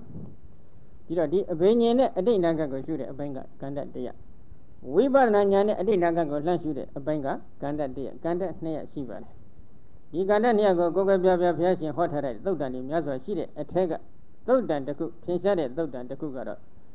ခန္ဓာဝက်ကတန်ရုပ်ပါဠိတော်မှာမြတ်စွာဘုရားခိစနိယသုတ်တန်ဆိုတဲ့သုတ်တန်တစ်ခုဟောထားပါတယ် ယေဟိကေစီဘိကဝေသမနာဝဗျမနာဝအနိကဝိတံပုပ္ပေနိဝါတအနုဒ္ဓရမာနာအနုဒ္ဓရံတိသဗ္ဗေတေပိစုပါရဏေခန္တိအနုဒ္ဓရံတိဣတိတဝအညတရံသမဏဗျမနာအမိရတဲ့ပုဂ္ဂိုလ်ကြီးလောကမှာရှိကြတယ်ရှင်းတဲ့နေခဲ့မှုတဲ့ခန္ဓာအစဉ်ကိုညာနဲ့အစဉ်လျောက်ပြီးအောက်မိမယ်ဆိုရင်အောက်မိလို့ရကြတယ်ထိုပုဂ္ဂိုလ်တို့ဒီရှင်းတဲ့နေခဲ့မှုတဲ့ခန္ဓာအစဉ်ကိုညာနဲ့အစဉ်လျောက်ပြီးအောက်မိခဲ့တော့ဥပါဒဏ်နဲ့ခန္ဓာ၅ပါးတို့ကိုတော်၎င်း ဥပါဒဏ်နဲ့ခန္ဓာ၅ပါးတို့တွင်တဘာဘာကိုတော်၎င်းညာနဲ့အစဉ်လျောက်ပြီးအောက်မိမယ်ဆိုရင်အောက်မိလို့ရနိုင်တယ်လို့ဒီလိုဘုရားဟောထားတယ်အဲ့ဒီဟောကြားချက်ကိုအထက်ကရာဆရာတော်ကအတိအကျဖွင့်ထားပါတယ်ခေသနိယသုတ်တံအထက်ကရာပဲနော်ဘုဗ္ဗေနိဝါဒန္တိဣတနာအဘိညာဝတေနသမနုတရန္တေသမဏဗျမနိတန္တာယေတံဟုတ်တံ ဘုဗ္ဗေနိဝါဒဆိုတဲ့ဒီစကလုံးကအဘိညာရဲ့အစွမ်းဖြင့်ရှေးကနေနေခဲ့ဖို့တဲ့ခန္ဓာအစဉ်ကိုညာနဲ့အစဉ်လျောက်ပြီးအောက်မေ့နိုင်တဲ့သမဏဗြဟ္မဏတွေကိုရည်ရွယ်ပြီးတော့မြတ်စွာဘုရားဟောနေတာမဟုတ်ဘူးဝိပါဒနာဝတေနသမဏုတရံတေသမဏဗြဟ္မဏိတန္တာယိတဟုတ်တာဝိပဿနာဉာဏ်ရဲ့အစွမ်းဖြင့် ရှင်းတဲ့နေခဲ့မှုတဲ့ခန္ဓာအစဉ်ကိုဉာဏ်နဲ့အစဉ်လျောက်ပြီးအောက်မေ့နိုင်တဲ့သမဏဗြဟ္မဏတွေကိုရည်ရွယ်ပြီးတော့မြတ်စွာဘုရားဟောနေတာတဲ့ဒီလိုအထက်ကကရှင်းထားပါတယ်နော်ဘာကိုအကြောင်းပြထားလဲဆိုတော့ဘုဗ္ဗေနိဝါဒနုဒတိအဘိညာဉ်နဲ့အတိတ်ကိုလှမ်းရှုတဲ့အပိုင်းမှာဒီဘုဗ္ဗေနိဝါဒနုဒတိအဘိညာဉ်က၄ပိုင်း၄ကန္တခွဲခြားစိတ်ပြပြီးရှုလို့ရတယ်နံပါတ်၁ခန္ဓာအဲ့ဒီခန္ဓာဆိုတာကတော့လောကုတ္တရာတရားများပါဝင်နေဆိုကြပါစို့ဥစ္စည်းတော်ဂေါရမမြတ်စွာဘုရားက ရှေ့လေးသိချင်းနဲ့ကဘာတသိန်းထက်ကပွင့်ထုံးပေါ်ပေါက်တော်မူခဲ့တဲ့ဒီပင်ကရာမြတ်စွာဘုရားကိုလှမ်းပြီးတော့ရှုရှုလို့ရတယ်ဒီပင်ကရာမြတ်စွာဘုရားတန်တမာတည်ရှိနေတဲ့ခန္ဓာတွေကိုလှမ်းရှုရှုလို့ရတယ်ဒီမင်္ဂလာဘုရားရှင်ရဲ့တန်တမာတည်ရှိနေတဲ့ခန္ဓာတွေထဲမှာလောကုတ္တရာတရားတွေလည်းပါဝင်နေတယ်ခုတို့ခန္ဓာအစဉ်မှာနော်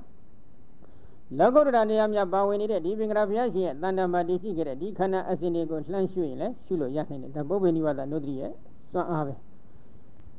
လောကုတ္တရာတရားများမပါဝင်နေတဲ့ခန္ဓာကိုယ်တော့ဥပါဒနဲ့ခန္ဓာခေါ်တယ်ဥပမာသူမိတာရှင်ရတဲ့ရဲ့တန်တမတည်ရှိနေတဲ့ခန္ဓာတွေဆိုကြတယ်နော်လောကုတ္တရာတရားများထိုးချင်းခါကမတည်ရှိခဲ့သေးဘူးလောကုတ္တရာတရားများမပါဝင်တဲ့သူမိတာရှင်ရတဲ့တန်တမတည်ရှိနေတဲ့ဥပါဒနဲ့ခန္ဓာ၅ပါးလို့လှမ်းကြည့်ရင်လည်းရှုလို့ရတယ်ဒါဘုဗ္ဗေနိဝါဒတို့ဒီအဖြစ်ကြီးအစွမ်းအားပဲနောက်တစ်ခုခန္ဓာပฏิပါဒနံပါတ်3 ခန္ဓာနဲ့ဆက်ဆက်နေတဲ့အရာဝတ္ထုတွေကိုလှမ်းရှုရတယ်ဘာတွေလဲအမျိုးအနွယ်တို့ချမ်းသာတို့ဆင်းရဲတို့နော်ဘယ်ဘဝဘယ်နေရာမှာဘယ်အမျိုးအနွယ်မှာဘယ်လိုသရဝါဖြစ်ပြီးတော့ဆင်းရဲတွေကိုဘယ်လိုခံစားကြရတယ်ချမ်းသာတွေကိုဘယ်လိုခံစားကြရတယ်စသည်ဖြင့်အသေးစိတ်တွေကိုခန္ဓာနဲ့ဆက်ဆက်နေတဲ့အကြောင်းအရာတွေကိုလှမ်းရှုရှုလို့ရတယ်ဒါပုဗ္ဗေနိဝတ္တနုဒတိအဘိညာဉ်ရဲ့စွမ်းအားပဲနောက်တစ်ခုကတော့ ပဏ္ဏတိနံပါတ်၄အမည်နာမပညာအမျိုးမျိုးကိုလှမ်းရှုရင်လည်းရှုလို့ရတယ်ဒါပုဗ္ဗေနိဝတ္တနုဒတိအဘိညာဉ်ရဲ့စွမ်းအားပဲဝိပဿနာဉာဏ်ရဲ့စွမ်းအားကတော့အတိတ်နဲ့နေခဲ့မှုတဲ့ပုဗ္ဗေနိဟုတ်တာပေါ့နော်ရှင်းတဲ့နေခဲ့မှုတဲ့ခန္ဓာဥပါဒနဲ့ခန္ဓာ၅ပါးတဘာဘာကိုတော်ကောဥပါဒနဲ့ခန္ဓာ၅ပါးကိုတော်ကောလှမ်းရှုရှုလို့ရတယ် ရုပ်ဝေဒနာတင်ညာသင်္ခါရဝိညာဉ်ခေါ်တဲ့ဥပါဒနဲ့ခန္ဓာ၅ပါးကိုသာလှမ်းပြီးရှုလို့ရတယ်ဒီတော့အဘိညာဉ်ရဲ့အစွမ်းဖြင့်ရှုနည်းကတစ်မျိုးဝိပဿနာဉာဏ်နဲ့ရှုနည်းကတစ်မျိုးဝိပဿနာဉာဏ်နဲ့ရှုနေတာကဘာသာရလဲဥပါဒနဲ့ခန္ဓာအဘိညာဉ်နဲ့ရှုလို့ရတာကခန္ဓာဥပါဒနဲ့ခန္ဓာခန္ဓာနဲ့ဆက်ဆက်နေတာအမြင်နာမပညာပေါင်းလိုက်တော့ဘယ်နှချက်လဲ၄ချက် ဝိပဿနာဉာဏ်ကြတော့ဥပါဒနဲ့ခန္ဓာ၅ပါးကိုပဲရှုလို့ရတယ်ခန္ဓာကိုလည်းရှုလို့မရဘူးခန္ဓာနဲ့ဆက်ဆက်နေတဲ့အကြောင်းအရာတွေလည်းလှမ်းရှုရှုလို့မရဘူးအမြင်နာမပညာတွေကိုလှမ်းရှုလည်းရှုလို့မရနိုင်ဘူးအဲ့ဒီလိုကြွားဟချက်ရှိကြောင်းအထက်ကရကရှင်းထားတယ်အခုဒီသုတ်တံမှာဘုရားရှင်ကယေကိစီဘေခဝေသမဏဗျမနာအနေကဝိတံပုပ္ပေနိဝါဒအနုဒ္ဒရမာနာအနုဒ္ဒရတိသဗ္ဗေတေပိစုဘာဒနဲ့အခန္တီအနုဒ္ဒရတိဣတိတဝါအညတရံဒီလိုဟောထားတယ် ရှင်းနိုင်နေခဲ့မှုတဲ့ခန္ဓာအစဉ်ကိုညာနဲ့အစဉ်လျောက်ပြီးအောက်မိမယ်ဆိုရင်အောက်မိလို့ရနိုင်တဲ့သမဏဗျမနာတွေလောကမှာရှိကြတယ်ထိုသမဏဗျမနာတွေဒီဥပါဒနဲ့ခန္ဓာ၅ပါးကိုတော်တော်ကောဥပါဒနဲ့ခန္ဓာ၅ပါးတို့တွင်တပါးပါးကိုတော်တော်ကောညာဖြင့်အစဉ်လျောက်ပြီးအောက်မိမယ်ဆိုရင်အောက်မိလို့ရနိုင်တယ်လို့ဒီလိုဟောထားတဲ့အတွက်ဝိပဿနာဉာဏ်ဖြင့်ရှုတာကိုရည်ရွယ်တယ်လို့သိရပါတယ်။ဘာဖြစ်လို့လဲ။အဘိညာဉ်သာဆိုရင်၄ချက်ဟောရမယ်။ခုတစ်ချက်ပဲဟောထားတယ်။ဒါကြောင့် ဝိပဿနာဉာဏ်နဲ့လည်းအတိတ်နဲ့နေခဲ့မှုတဲ့ခန္ဓာကိုရှုလို့ရလားမရဘူးလား။ရပါတယ်။ရတယ်လို့ဘုရားဟောဒေသနာကသင်ရှားရှိသလားမရှိဘူးလားမင်း။ရှိပါတယ်။နောက်တစ်ခုနည်းနည်းလေးဆက်စဉ်းစား။ကြောင်းကျိုးဆက်ပြိဿသမုပ္ပါပိုင်းအတ္တိဟိတောပိစ္ဆဣဒ္ဓာနိဖလပိစ္ဆကံဣဒာနိဟေတောပင်စအာယတိဖလပိစကံဆိုပြီးတော့ဥစ္စနုအတေကြောင့်တရား၅ပါးကြောင့်ပိဿုပန်အကျိုးတရား၅ပါးဖြစ်တယ် ပိဿုပန်အကြောင်းတရား၅ပါးကြောင့်အနာကအကျိုးတရား၅ပါးဖြစ်မယ်ဆိုပြီးတော့ပရိသမိရမေပါဠိတော်ကြီးမှာဟောထားတယ်ပရိသမိရမေပါဠိတော်စံမျက်နှာ90ဆိုကြစို့နော်ဝရိမကမ္မဘောသမိမောဟအဝိဇ္ဇာအာယောနာသင်္ခါရဏိဂာတိတနာဥပကမနာဥပဒါနာစေရနာဘောတိဣမေပိစဓမ္မပုရိမကာမဘောတမေဣဒပရိသန္တိယပစ္စယပရိသမိရမေပါဠိတော်မှာဟောထားတဲ့ဟောကြားချက်ဘာပြောလဲ ပုရိမကာမဘဝတမေရှေ့ကာမဘဝကိုပြုစုပြုထွန်ခဲ့စဉ်ဘဝဒုံကကာမဘဝဆိုတာဥဒ္ဒနဘဝဆိုတာကနှစ်ခုရှိတယ်ကာမဘဝဥပပတ္တိဘဝဗမာလိုရှင်းရှင်းပြောရင်တော့ဖြစ်ကြောင်းသဘောနဲ့ဖြစ်ခြင်းသဘောဖြစ်ကြောင်းသဘောကကာမဘဝဖြစ်ခြင်းသဘောကဥပပတ္တိဘဝဖြစ်ကြောင်းသဘောကြောင့်ဖြစ်ခြင်းသဘောတစ်ခုဖြစ်မှုကိုပဲဘဝလို့ခေါ်တာမယ်ဘဝဆိုတာကဘာလဲဖြစ်မှု ဖြစ်စေတတ်တဲ့အကြောင်းကိုလည်းဘဝခေါ်တယ်ဖြစ်မှုကိုလည်းဘဝခေါ်တယ်အဲ့ဖြစ်တာနှစ်မျိုးပေါ့ဖြစ်ကြောင်းတရားနဲ့ဖြစ်ခြင်းသဘောအဲ့ဒီနှစ်ခုရှိတဲ့အ낵ကဘဝတစ်ခုမှာဖြစ်စေတတ်တဲ့ကာမဘဝကိုပြုစုပြုထောင်ခဲ့ဆိုကြတယ်ဒါကိုအထင်ကရာဆရာတော်ကပုရိမာကမ္မဘဝသမိတိပုရိမေကမ္မဘဝေအတ္တိဇာတိယံကမ္မဘဝေကရိယမာနေတိအထောသူဒီလိုဖွင့်ထားတယ်ရှင်းရှင်းလေးပဲ အတ္တိဇာတိယံကမ္မဘဝေကရိယမာနေတိအထောအတိတ်ဇတ်တခုဘဝတခုမှာကမ္မဘဝဖြစ်ကြောင်းတရားတွေကိုပြုစုပြုထောင်ခဲ့စဉ်အချင်းအခါတုန်းကလို့ဆိုလိုတယ်နော်ဒါကြောင့်ပုရိမာကမ္မဘဝသမိအတိတ်ဘဝ၌ကမ္မဘဝကိုပြုစုပြုထောင်ခဲ့စဉ်အချင်းအခါတုန်းကမောဟမောဟသည်အဝိဇ္ဇာအဝိဇ္ဇာသည်အတိမမှုကအဝိဇ္ဇာမောဟအတိမမှုသည်အဝိဇ္ဇာအဝိဇ္ဇာသည် ယောက်ျားမိန်းမပုဂ္ဂိုလ်တ attva လူနာမြမစသည်ဖြင့်အတိမှားနေတဲ့သဘောလေးကဘာလဲအဝိဇ္ဇာ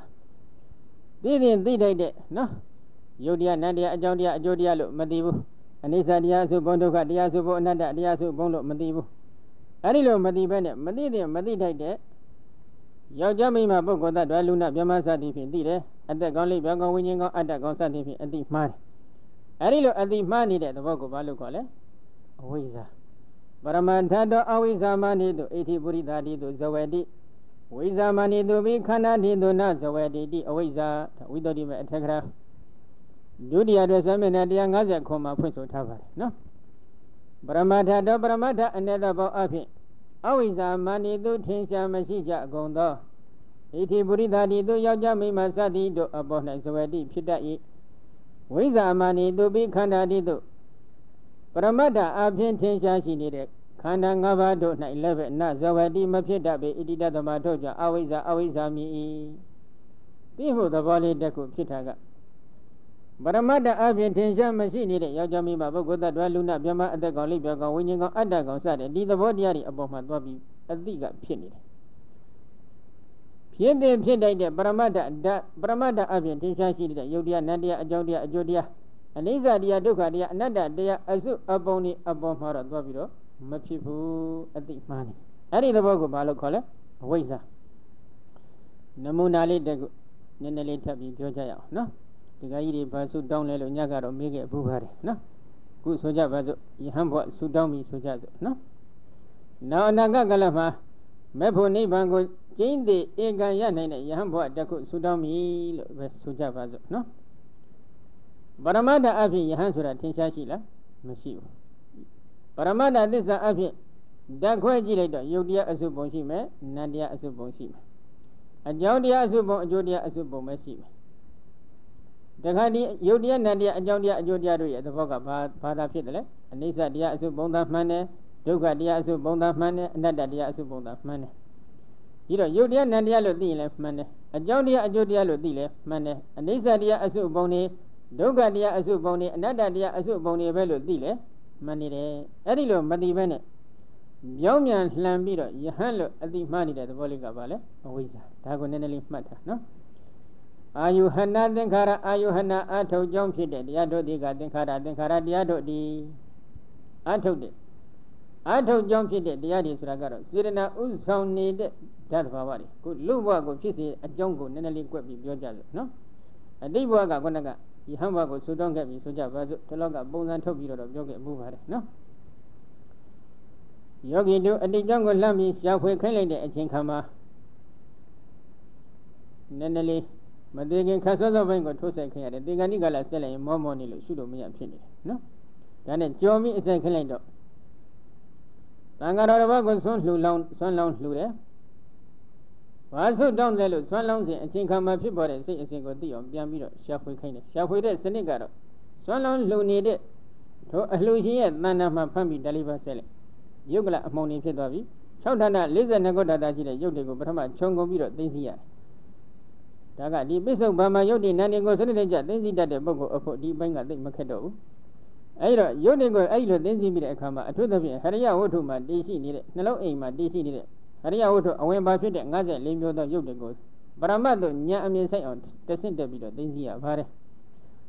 အတုသဖြင့်ဟရိယဝတ္ထုယုတ်ကိုမိအောင်သိသိနိုင်ပြီဆိုရင်ထိုဟရိယဝတ္ထုကိုမိတွယ်ပြီးဖြစ်ပေါ်နေတဲ့အင်ရှင်ဘနောဘဝင်မနောအကြည်တတ်ကိုတော့ဖမ်းလို့ရတယ်။အင်ရှင်ဒီဘဝင်မနောအကြည်တတ်မှာဖမ်းလို့ဘဝင်မနောအကြည်တတ်ကိုဖမ်းလို့မိပြီရှုလို့ရပြီဆိုရင်ဒီဘဝင်မနောအကြည်တတ်ကလေးကိုရှင်းလို့ကြည့်နောက်ဆုံးကြည့်ကြည့်လိုက်ရင်ဘဝင်မနောအကြည်တို့ရဲ့ဈာမှာဖြစ်ပေါ်နေတဲ့စိတ်အစဉ်လေးတွေပြန်သိသိလို့ရတယ်။ သူကအဲ့ဒီအချိန်ခါမှာဆွန်းလောင်းစဉ်အခါမှာဗာစိတ်အစဉ်ဖြစ်ခဲ့လေဆွန်းလေးတစုံပါနော်။သိပြီးတော့တန်ဖို့မများဘူးလို့ယူဆနိုင်ပါတယ်နော်ဒါပေမဲ့ဒီဆွမ်းနေစွန်းကဘဝတကုသူမျောလင့်တောင့်တနေတဲ့ဘဝတကုကိုဖြစ်စေနိုင်တဲ့စွမ်းအင်နဲ့ဒီဆွမ်းနေစွန်းကိုလှူဒန်းတဲ့ကုသိုလ်စေတနာမှာအပြည့်ဝရှိနေတယ်ဒါကြောင့်ကောင်းမှုကုသိုလ်တို့မြည်သည့်အနည်းငယ်ပြီးဖြစ်ခြင်းဖြစ်ပါစေအကျင့်အကြကြလာပြီဆိုရင်အာကုတိုက်ပါတယ်နော် ဒီတော့သူကဆွမ်းလေးတစ်စွန်းလောင်းပြီးတော့ဘာဆုတောင်းလဲအရှင်ဖျားတို့လိုပဲယဟန်ဖြစ်ပါဖြစ်ပြစေဒီဆုပဲတောင်းတယ်နော်ယဟန်လည်းအတိမှားနေတဲ့သဘောလေးကအဝိဇ္ဇာသွန်လောင်းလှုံနေတဲ့ကုသိုလ်စေရနာအုပ်စုကသင်္ခါရထအာယုဟနာသင်္ခါရအထုတ်ကြောင့်ဖြစ်တဲ့တရားတွေကသင်္ခါရစေရနာဥဆောင်နေတဲ့ကုသိုလ်စေရနာအုပ်စုပဲနော်စေစေတဲ့ရည်တွက်ကြည့်လိုက်တော့34လုံးရှိပါတယ်နော်ဒါကဟို ယုံနာသိသိနိုင်တဲ့ယောဂီသူတော်ကောင်းမှသူတော်ကောင်းတွေမှပို့ပြီးနားလည်လိမ့်မယ်နောက်တစ်ခုနိဂန္ဒီတဏဥပဂမနဥပဒါနနိဂန္ဒီထိုဘဝကိုထိုထိုဘဝကိုတွေ့တတ်တတ်မဲ့ခြင်းနိကံတရားနိကတိတရားတိကတဏှာတဏှာဒီအဲ့ဒီမှာယဟန်ဘဝကိုဆွတောင်းနေတဲ့ပုဂ္ဂိုလ်အဖို့ယဟန်ဘဝကိုတွေ့တက်တက်မဲ့နေတဲ့နိဂန္တိမရှိဘူးလားရှိတယ်အဲ့ဒီယဟန်ဘဝကိုတွေ့တက်တက်မဲ့နေတဲ့သဘောလေးကတဏှာဥပဂမနဥပါဒနာဥပဂမန စိတ်ကရောက်ဆွဲနေခြင်းတွေကဥပါဒနာဥပါဒမီဤဒီယဟန်ဘဝကိုစိတ်ကလေးကကပ်ပြီးတော့ဆွဲနေတယ်ယဟန်ဘဝကိုစိတ်ကပ်ရောက်ဆွဲနေတဲ့သဘောလေးကဥပါဒဒီတော့ဒီအဝိဇ္ဇာရဲ့တဏှာရဲ့ဥပါဒရဲ့ဒီတရားသုံးခုကကိလေသာဟုတ်သူတို့ကလောဘဒိဋ္ဌိအုပ်စုဖြစ်ပါတယ်နော်အဲ့ဒီလောဘဒိဋ္ဌိအုပ်စုစိတ်စိတ်တဲ့အလုံး20အနည်းနဲ့ထွေယောဂီမှာဖြစ်ခဲ့တယ်တချို့မှာတော့19လည်းဖြစ်တတ်ပါတယ်နော် ဒီယောဂီမှာတော့စိတ်စိတ်တဲ့အလုံး20မနောဒရဝဇ္ဇဇော9ကျင်းအနည်းနဲ့ဖြစ်ခဲ့တယ်ထိုဇောတွေမှာဇောစိတ်တဲ့ခဏတစ်ခုတစ်ခုအနဲ့စိတ်စိတ်တဲ့အလုံး20ရှိတယ်ပြန်ပြီးသိချာရစ်တော့ခိုင်းကြည့်ထားတယ်နော်ဒီတော့နောက်တစ်ခုစေရနာဘဝတိစေရနာကဘဝအဲဒီတော့စေရနာလေးကဘဝဆိုတော့ဣမေပိစာဓမ္မပုရိမကမ္မဘောသမေဣဒပရိသန္တိယပစ္စယဣမေပိစာဓမ္မပုရိမကမ္မဘောသမေ ရှေ့ကမ္မဘဝကိုပြုပြုစုပြုထောင်းခဲ့ခြင်းအတိတ်ဘဝ၌ဣမေပိစာဓမ္မဤငါးပါးကုံသောတရားတို့သည်ကဣဒပရိသန္တိယဤပစ္စုပန်ဘောနှင့်ပရိသန္တိဤပစ္စယအကြောင်းတရားတို့ဖြစ်ကြလေကုန်၏ဒါကပရိသန္မိဓမ္မေပါဠိတော်ကြီးမှာဟောထားတဲ့စကားဒီတော့ပြောချင်တာကအဝိဇ္ဇာတဏှာဥပါဒံသင်္ခါရကံအကြောင်းဘယ်နှခုလဲ၅ခုအဲ့ဒီအကြောင်းတစ်ခု၅ခုကြောင့် အကြောင်း၅ခုတည်းဒီဘဝပရိသန္တိရဲ့အကြောင်းတရားဖြစ်တယ်ဒီတော့ဒီဘဝပရိသန္တိရဲ့အကြောင်းရင်းဖြစ်တဲ့အဝိဇ္ဇာတဏှာဥပါဒံသင်္ခါရကံဒီကဘယ်တော့ကဖြစ်ခဲ့လဲအတိတ်ကဖြစ်ခဲ့အတိတ်ကဖြစ်ခဲ့တဲ့ဒီအဝိဇ္ဇာတဏှာဥပါဒံသင်္ခါရကံဒီကြောင့်သာလျှင်ဒီဘဝမှာပရိသန္တိခန္ဓာ၅ပါးကလာပြီးတော့ဖြစ်ရတယ်အဲ့တော့အတိတ်ကပြုစုပြုထွန်ခဲ့တဲ့အဝိဇ္ဇာတနာဥပါဒသင်္ခါရကံကြောင့်ဒီဘဝမှာခန္ဓာ၅ပါးဖြစ်တဲ့ ထုံးကိုကိုယ်တိုင်မျက်မှောက်ထွန်းဖို့သိမြင်အောင်လှမ်းပြီးမရှုရင်သူများအပြောနဲ့လွမ်းရတဲ့အဆင့်မှာပဲရှိမယ်ကိုယ်တိုင်မျက်မှောက်ထွန်းဖို့သိမြင်အောင်ရှုကျင်တယ်ဆိုလို့ရှိရင်ဘာလုပ်ရမလဲထိုတော်ကောင်းကကိုယ်တိုင်သိအောင်လှမ်းရှုရတယ်အဲဒီလိုရှုတဲ့အပိုင်းမှာဒုက္ခဝိပါဒကခေါ်တဲ့သုဒ္ဓဝိပဿနာယာနိကလမ်းကနေဝိပဿနာကုသွားတဲ့သူတော်ကောင်းတွေလည်းပါကြပါတယ်ဇံအစိတ်ခန့်ချောက်နေတဲ့ပုဂ္ဂိုလ်တွေလှမ်းရှုရှုလို့မရဘူးလားရကြတယ်ရတဲ့ထုံးရှိတယ်အရှင်တုတိမ အရှင်တုတိမဆိုတာကတရားခိုးဝရံအတွက်ရည်ရွယ်ပြီးတော့သာသနာတော်ကိုဝင်ရောက်ပြီးဆရာပြုလာတဲ့ပုဂ္ဂိုလ်ဖြစ်ပါတယ်ပရပိုက်တူပဲဘုရားရှင်သူယဟန်ပြုပြီးမကြမီအတွက်အရတ္တကိုတီးမယ်ဆိုတော့ဘုရားရှင်ကသိတော်မူတဲ့အတွက်သူ့ကိုယဟန်ပြုဖို့ရန်ရှင်အနန္ဒကိုအမိန့်ပေးထားတယ်ယဟန်ပြုပြီးပြီသုံးလရက်လောက်အခန့်အကြာမြတ်စွာဘုရားထံလာပြီးတော့ယဟန်ကိစ္စပြီးတော့မူကြတဲ့ယဟန်နာမထေမြတ်တွေကလာပြီးတော့လျှောက်ထားကြတယ် လျှောက်ထားတဲ့အပိုင်းဒီမှာမိမိတို့အရတ္တဖို့တီကြောင်းပြိသန္တိနေမှုကောင်းပြီဖြေကြောင်းစသည်ဖြင့်လျှောက်ထားတော့ဒီစကားကြားပြီကြားလိုက်တဲ့အခါကျတော့အာသူတို့ယဟန်နာဖြစ်တဲ့အကြောင်းမြတ်စွာဘုရားလာပြီးလျှောက်ထားတယ်ဒီလိုဆိုရင်တော့ဒီကိုယ်တော်တွေငါသွားဆွေးနွေးကြည့်အောင်ပါမယ်ဆိုသွားပြီးချင်းကပ်ပြီးသူကမေးကြည့်တယ်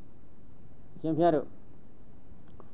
တပည့်တော်တရင်ကောင်းတစ်ခုကြားနေတယ်အရှင်ဘုရားတို့မြတ်စွာဘုရားတန်းချင်းကပြီးတော့အရတ္တဖို့ရာကြောင့်လျှောက်ထားတယ်လို့တပည့်တော်တရင်ကြားရတယ် အရတ္တဖို့ရပြီဆိုလို့ရှိရင်အရှင်ဘုရားတို့အဘိညာဉ်တွေမြတ်ရကြသလားအဘိညာဉ်တွေတစ်ခုစီ၅ပါးလောကီအဘိညာဉ်၅ပါးတစ်ခုစီမေးကြည့်တယ်မရဘူးဒီလိုဆိုရင်ဇန်နေဝိမောက္ခတရားတွေကိုရကြလားမရဘူးပြန်ဖြစ်ဒီလိုဆိုရင်အရှင်ဘုရားတို့ကဇန်အဘိညာဉ်တွေလည်းမရဘဲနဲ့ဝိမောက္ခတရားတွေလည်းမရဘဲနဲ့ဘယ်ပုံဘယ်ဘက်ဗတိနာအဖြစ်အရှင်ဘုရားတို့အရတ္တဖို့ရောက်နိုင်မလဲပညာဝိမု ക്ത ခေါ်မယအောင်သောသူတိမတို့ကပညာစက္ခန့်ဖြင့်ကိလေသာတို့မှလွတ်မြောက်လာတဲ့ပုဂ္ဂိုလ်တွေဖြစ်ကြတယ်လို့ဒီလောက်ပဲဖြေတယ်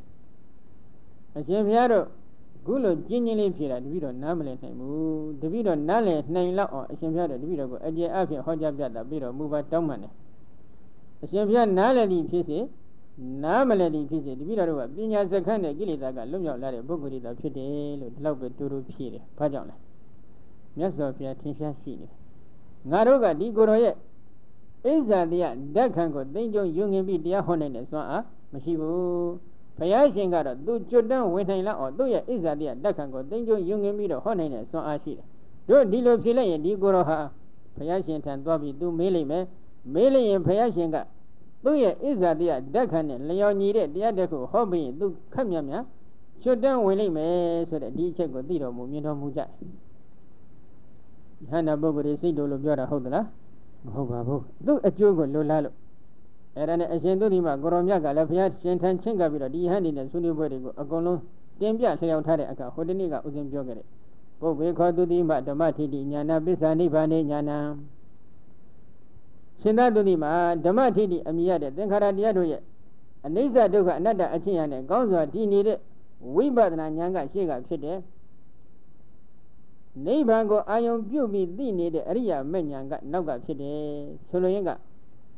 အရိယာမေညာနေဝိပအဘိညာရဲ့အကျိုးအာနိသင်မဟုတ်ဘူးအကျိုးဆက်မဟုတ်ဘူးဝိပဿနာဉာဏ်တို့ရဲ့အကျိုးဆက်သာဖြစ်တယ်ဝိပဿနာဉာဏ်တို့ရဲ့အဆုံးမှတန်လင်အရိယာမေညာကပေါ်တယ်အဘိညာရဲ့အဆုံးမှပေါ်တဲ့တရားမဟုတ်ပါဘူးလို့ဒီလိုဖြေရှင်းလိုက်တယ်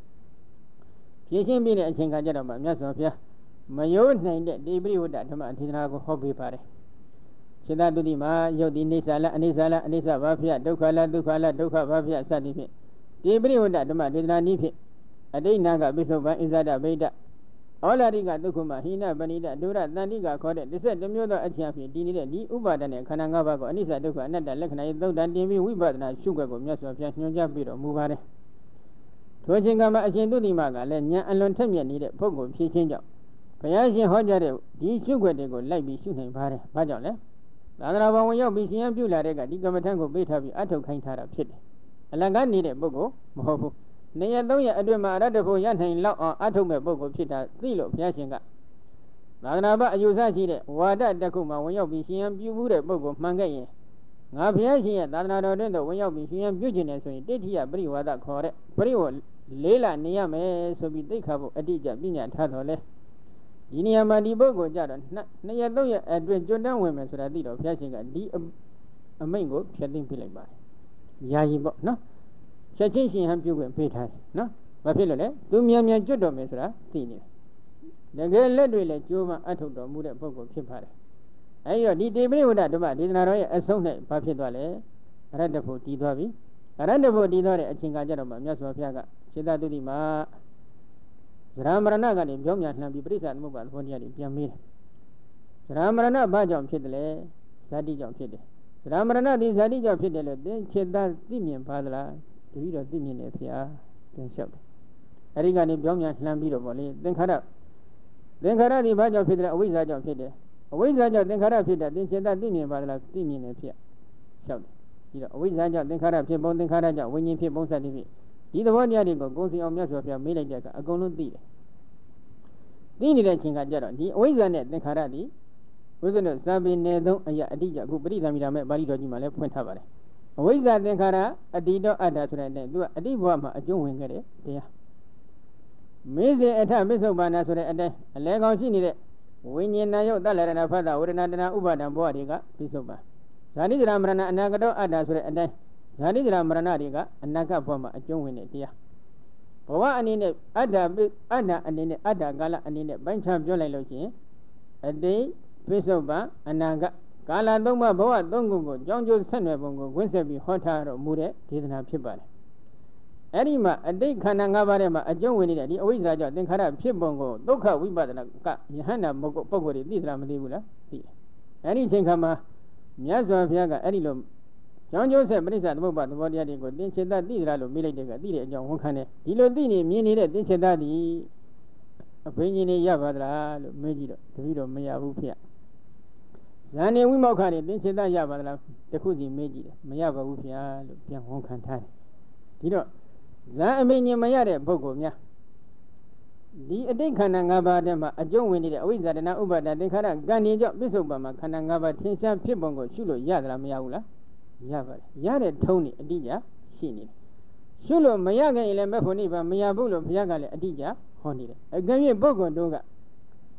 ဒီအတိတ်နာကတည်းမရှုဘဲနဲ့ဒီအကြောင်းကျိုးဆက်ပရိစ္ဆသမုပ္ပါသဘောတရားတွေမရှုဘဲနဲ့မဲ့ဖို့နိဗ္ဗာန်ရပါတယ်လို့ဝန်ခံခဲ့မယ်ဆိုရင်ဦးဇင်းတို့ဒီသာသနာတော်ဘက်ကလည်းပြန်ပြီးတော့အဖြေပေးနိုင်တဲ့အချက်တခုတော့ရှိတယ်ဘုရားဆိုလိုတဲ့နိဗ္ဗာန်တော့မဟုတ်သေးဘူးလို့ဒီလိုခံမှန်းရတယ်ဘာဖြစ်လို့လဲဘုရားဆိုလိုနေတဲ့နိဗ္ဗာန်ကအတေအကြောင်းတရားကြောင့်ပစ္စုပန်အကျိုးတရားဖြစ်ပုံပစ္စုပန်အကြောင်းတရားကြောင့်အနာဂတ်အကျိုးတရားဖြစ်ပုံပုံစံမှန်သိတယ်ပုံစံမှန်သိတယ်ဆိုတာက ဟောဥရိယပြညာအကျယ်ရှုဘကံဆိုတာရှိပါတယ်နော်အဲ့ဒီဥရိယပြညာအကျယ်ရှုဘကံနဲ့ပတ်သက်ပြီးတော့ဘုရားရှင်ကိုရောတိုင်းတတိပဋ္ဌာန်ကျင့်စဉ်ထဲမှာလည်းအထိကျထဲသွင်းပြီးဟောထားတယ်နော်ကာယ ानु ပဒနာတတိပဋ္ဌာန်ဝေဒနာ ानु ပဒနာတတိပဋ္ဌာန်စိတ် ानु ပဒနာတတိပဋ္ဌာန် ဓမ္မနုပါဒနာတတိဖရဏီမှာလည်းဘုရားရှင်ကိုတော်တိုင်အတိအကျဟောထားတယ်အဝိသမုဒိယဓမ္မနုပါတိဝါကာယဓမ္မေဝိဟရတိဝယဓမ္မနုပါတိဝါကာယဓမ္မေဝိဟရတိ သမုဒိယဝယဓမ္မနုပါတိဝါကာယဓမ္မေဝိဟရတိစသည်ဖြင့်ဟောထားတယ်နော်ကာယဓမေကာယ၌ဝရူပကာယနာမကာယ၌သမုဒိယဓမ္မနုပါတိဝါဖြစ်ကြောင်းသောဘောနှင့်ဖြစ်ခြင်းသဘောကိုအဖမှန်အထက်တန်ရှုလျက်ရှိသည်ဖြစ်၍မူလီဝိဟရတိနေလေ၏ကာယဓမေကာယ၌ဝရူပကာယနာမကာယ၌ဝယဓမ္မနုပါတိဝါချုပ်ကြောင်းသောဘောနှင့်ချုပ်ခြင်းသဘောကိုအဖမှန်အထက်တန်ရှုလျက်ရှိသည်ဖြစ်၍မူလီဝိဟရတိနေလေ၏ ကာယဓမေကာယ၌ဝရူပကာယနာမကာယ၌သမုဒိယဝယဓမ္မနုပါတိဝဖြစ်ကြောင်းသောဘောနှင့်ဖြစ်ခြင်းသောဘောချုပ်ကြောင်းသောဘောနှင့်ချုပ်ခြင်းသောဘောကိုအဖမှန်အထက်ထရှုလျက်ရှိသည်ဖြစ်၍မူလီဝိဟရတိနေလေ၏ဒီလိုဖွင့်ဟောထားတယ်အဲဒီဟောကြားချက်ကိုလည်းအထက်ကရာကြီးကဒီပရိနာမိတာမဲ့ပါဠိတော်ကြီးကိုကိုးကားပြီးတော့နော်အဝိဇ္ဇာသမုဒိယရူပသမုဒိယတဏှာသမုဒိယရူပသမုဒိယ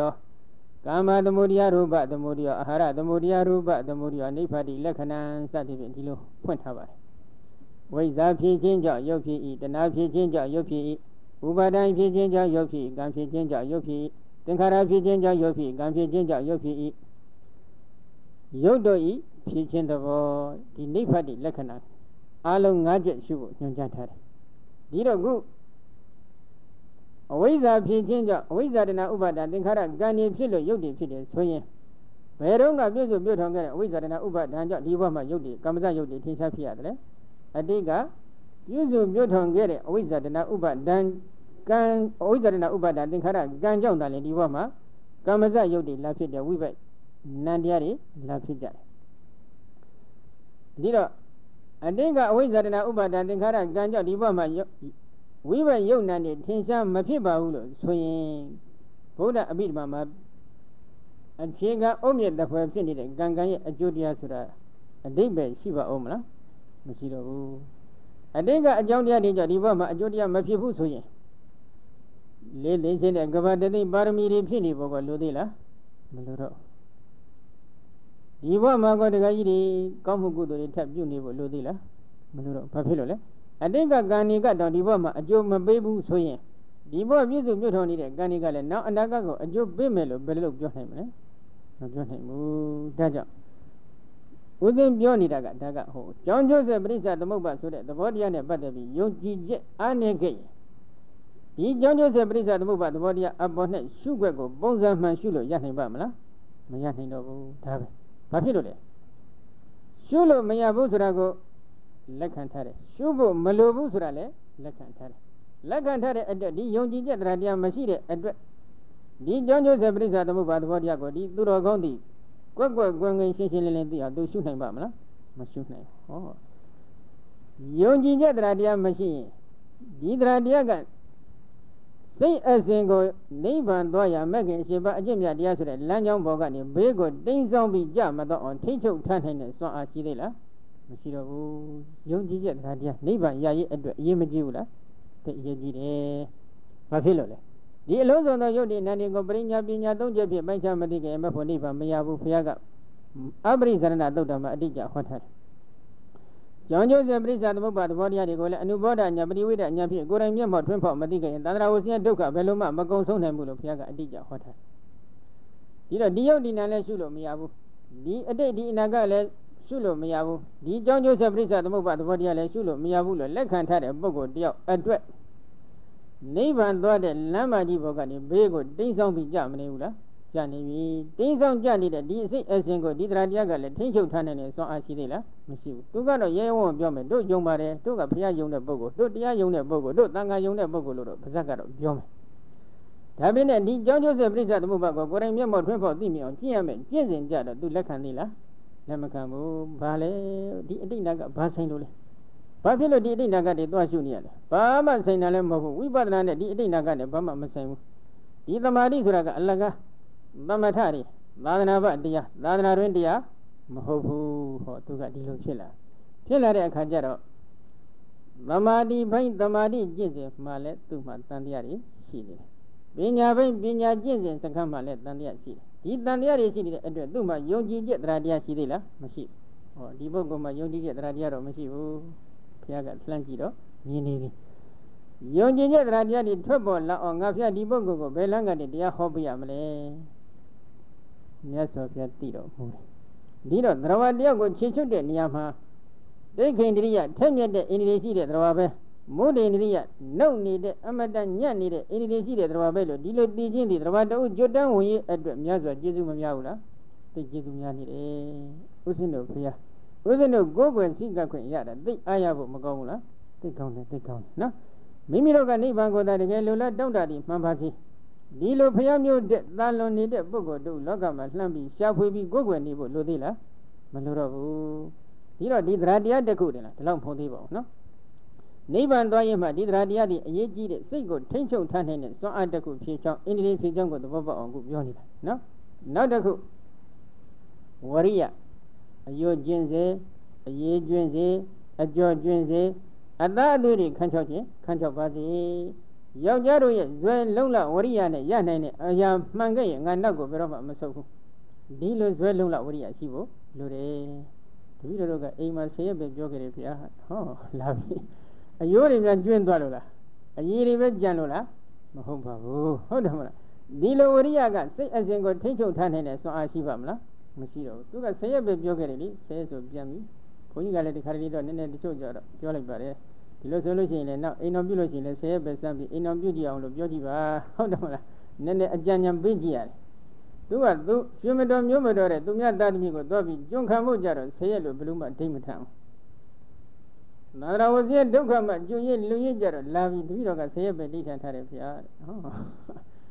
ဆယ်ရက်ပဲတပည့်တော်ကအိမ်မှာပြောခဲ့တယ်စသည်ဖြင့်သူတို့ကလာပြီးဈေးပေါ်ပေါ်လေးနဲ့စစ်ပြီးယူသွားတယ်ဒီတော့နိဗ္ဗာန်သွားရလမ်းကြောင်းဘောကဒီစိတ်အစဉ်ကိုတင်းဆောင်ပြီးကြမတော့အောင်ထိမ့်ချုပ်ထားနိုင်တဲ့စွမ်းအားရှိသေးလားမရှိတော့ဝိရိယတွေသိရောသွားပြီအယိုးပဲကြံတာလည်းမဟုတ်သေးပါဘူးအရေးပဲကြံတာလည်းမဟုတ်သေးဘူးအသားအသွေးတွေအကုန်ခန့်ချောက်သွားတာလည်း မဟုတ်သေးပါဘူးဒါပြည့်နဲ့ရှော့ချလိုက်ရှော့ချလိုက်တဲ့ဒီစိတ်ဓာတ်ကနိဗ္ဗာန်သွားရလမ်းကြောင်းပေါ်မှာစိတ်အစဉ်ကိုတင်းဆောင်ပြီးဘေးကြမတော့အောင်ထိမ့်ချုပ်ထားနိုင်တဲ့စွမ်းအားမရှိတော့ဘူးဒီပုဂ္ဂိုလ်မှာဒီစွမ်းအားမရှိဘူးဘုရားရှင်ကသိတယ်ဒီပုဂ္ဂိုလ်ကျတော့ဒီစွမ်းအားတွေရှိနေတယ်လှမ်းကြည့်သိနေတယ်စွမ်းအားရှိနေတဲ့အိန္ဒြေရင့်ကျက်နေတဲ့ပုဂ္ဂိုလ်တို့ကိုဘယ်လိုချင်းချိုးရမလဲအိန္ဒြေနှုတ်နေတဲ့ပုဂ္ဂိုလ်တို့ကြတော့ငါဖျားဘယ်လိုချင်းချိုးရမလဲအတိအကျအတိတော့ဟုတ်တယ်နော်ဒါ သရဝအကြောင်းကိုသိပုံလေးပါဒီလိုသရဝအကြောင်းကိုသိပုံသိသရဝတွေကိုကဲတင်တဲ့နေရာမှာအလွန်အရေးကြီးတဲ့ကံတတ်တရားဖြစ်နေတယ်နောက်တစ်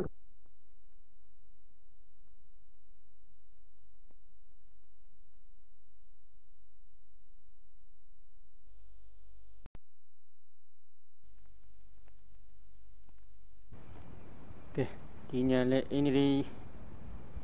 ထက်မြက်တဲ့အိန္ဒြေရှိတဲ့သရဝါ နှုတ်နဲ့အိန္ဒြေရှိတဲ့သရဝါ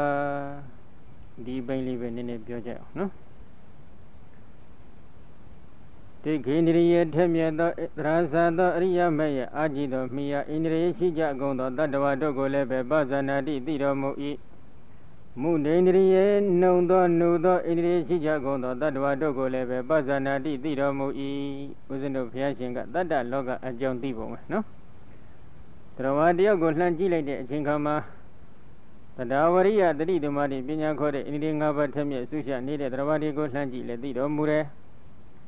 တရားဝရိယတတိဓမ္မတိပညာခေါ်တဲ့ဣန္ဒြေ၅ပါးနှုတ်နေတဲ့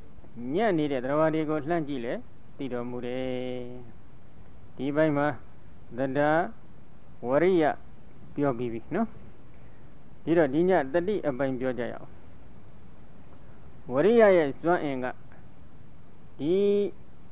နိဗ္ဗာန်သွားနေတဲ့သူတော်ကောင်းတို့ရဲ့စိတ်အစဉ်ကိုနိဗ္ဗာန်သွားရလမ်းကြောင်းဘောကနေဘေးကိုတိမ်းဆောင်ပြီးကြမတော့အောင်ထိမ့်ချုပ်ပေးနိုင်တဲ့စွမ်းအားအပြည့်အဝရှိတယ်ဝရိယဝတ္တကိဏ္ဏမကမ္မနာတိစတိဝရိယရှိတဲ့ပုဂ္ဂိုလ်ဟာဘယ်အမှုမဆိုမပြီးမရှိပြီးတည်တာဖြစ်တယ်ဝရိယကိုရှည်ရန်တင်ပြီးတော့အလုပ်လုပ်ခဲ့မယ်ဆိုရင်လဲ လုပ်ငန်းခွင်မှာအောင်မြင်မှုရတန်တယ်လို့ရတယ်ဆိုလိုတာကဝရိယကိုရှည်ရန်တင်တော့ဝရိယတစ်ခုတည်းကြောင့်အောင်မြင်တယ်ဒီလိုတော့မဟုတ်ဘူးနောက်လိုက်တယ်တရားပါမယ်တတိပါမယ်တမာတိပါမယ်ပညာပါမယ်ဒါပေမဲ့ဝရိယကိုရှည်ရန်တင်ပြီးတော့အလုပ်တစ်ခုလုပ်တယ်နော်ဒီတော့ဒီဝိရိယကိုခြေတန်းတင်ပြီးအလုပ်လုပ်လိုက်တဲ့အပိုင်းမှာနောက်က တရားတို့တတိတို့တမာတိတို့ပညာတို့ကထိမ့်ကိုပေးနိုင်တဲ့စွမ်းအားရှိခဲ့ရင်လိုအပ်တဲ့အကျိုးလည်းပြီးနိုင်ပါတယ်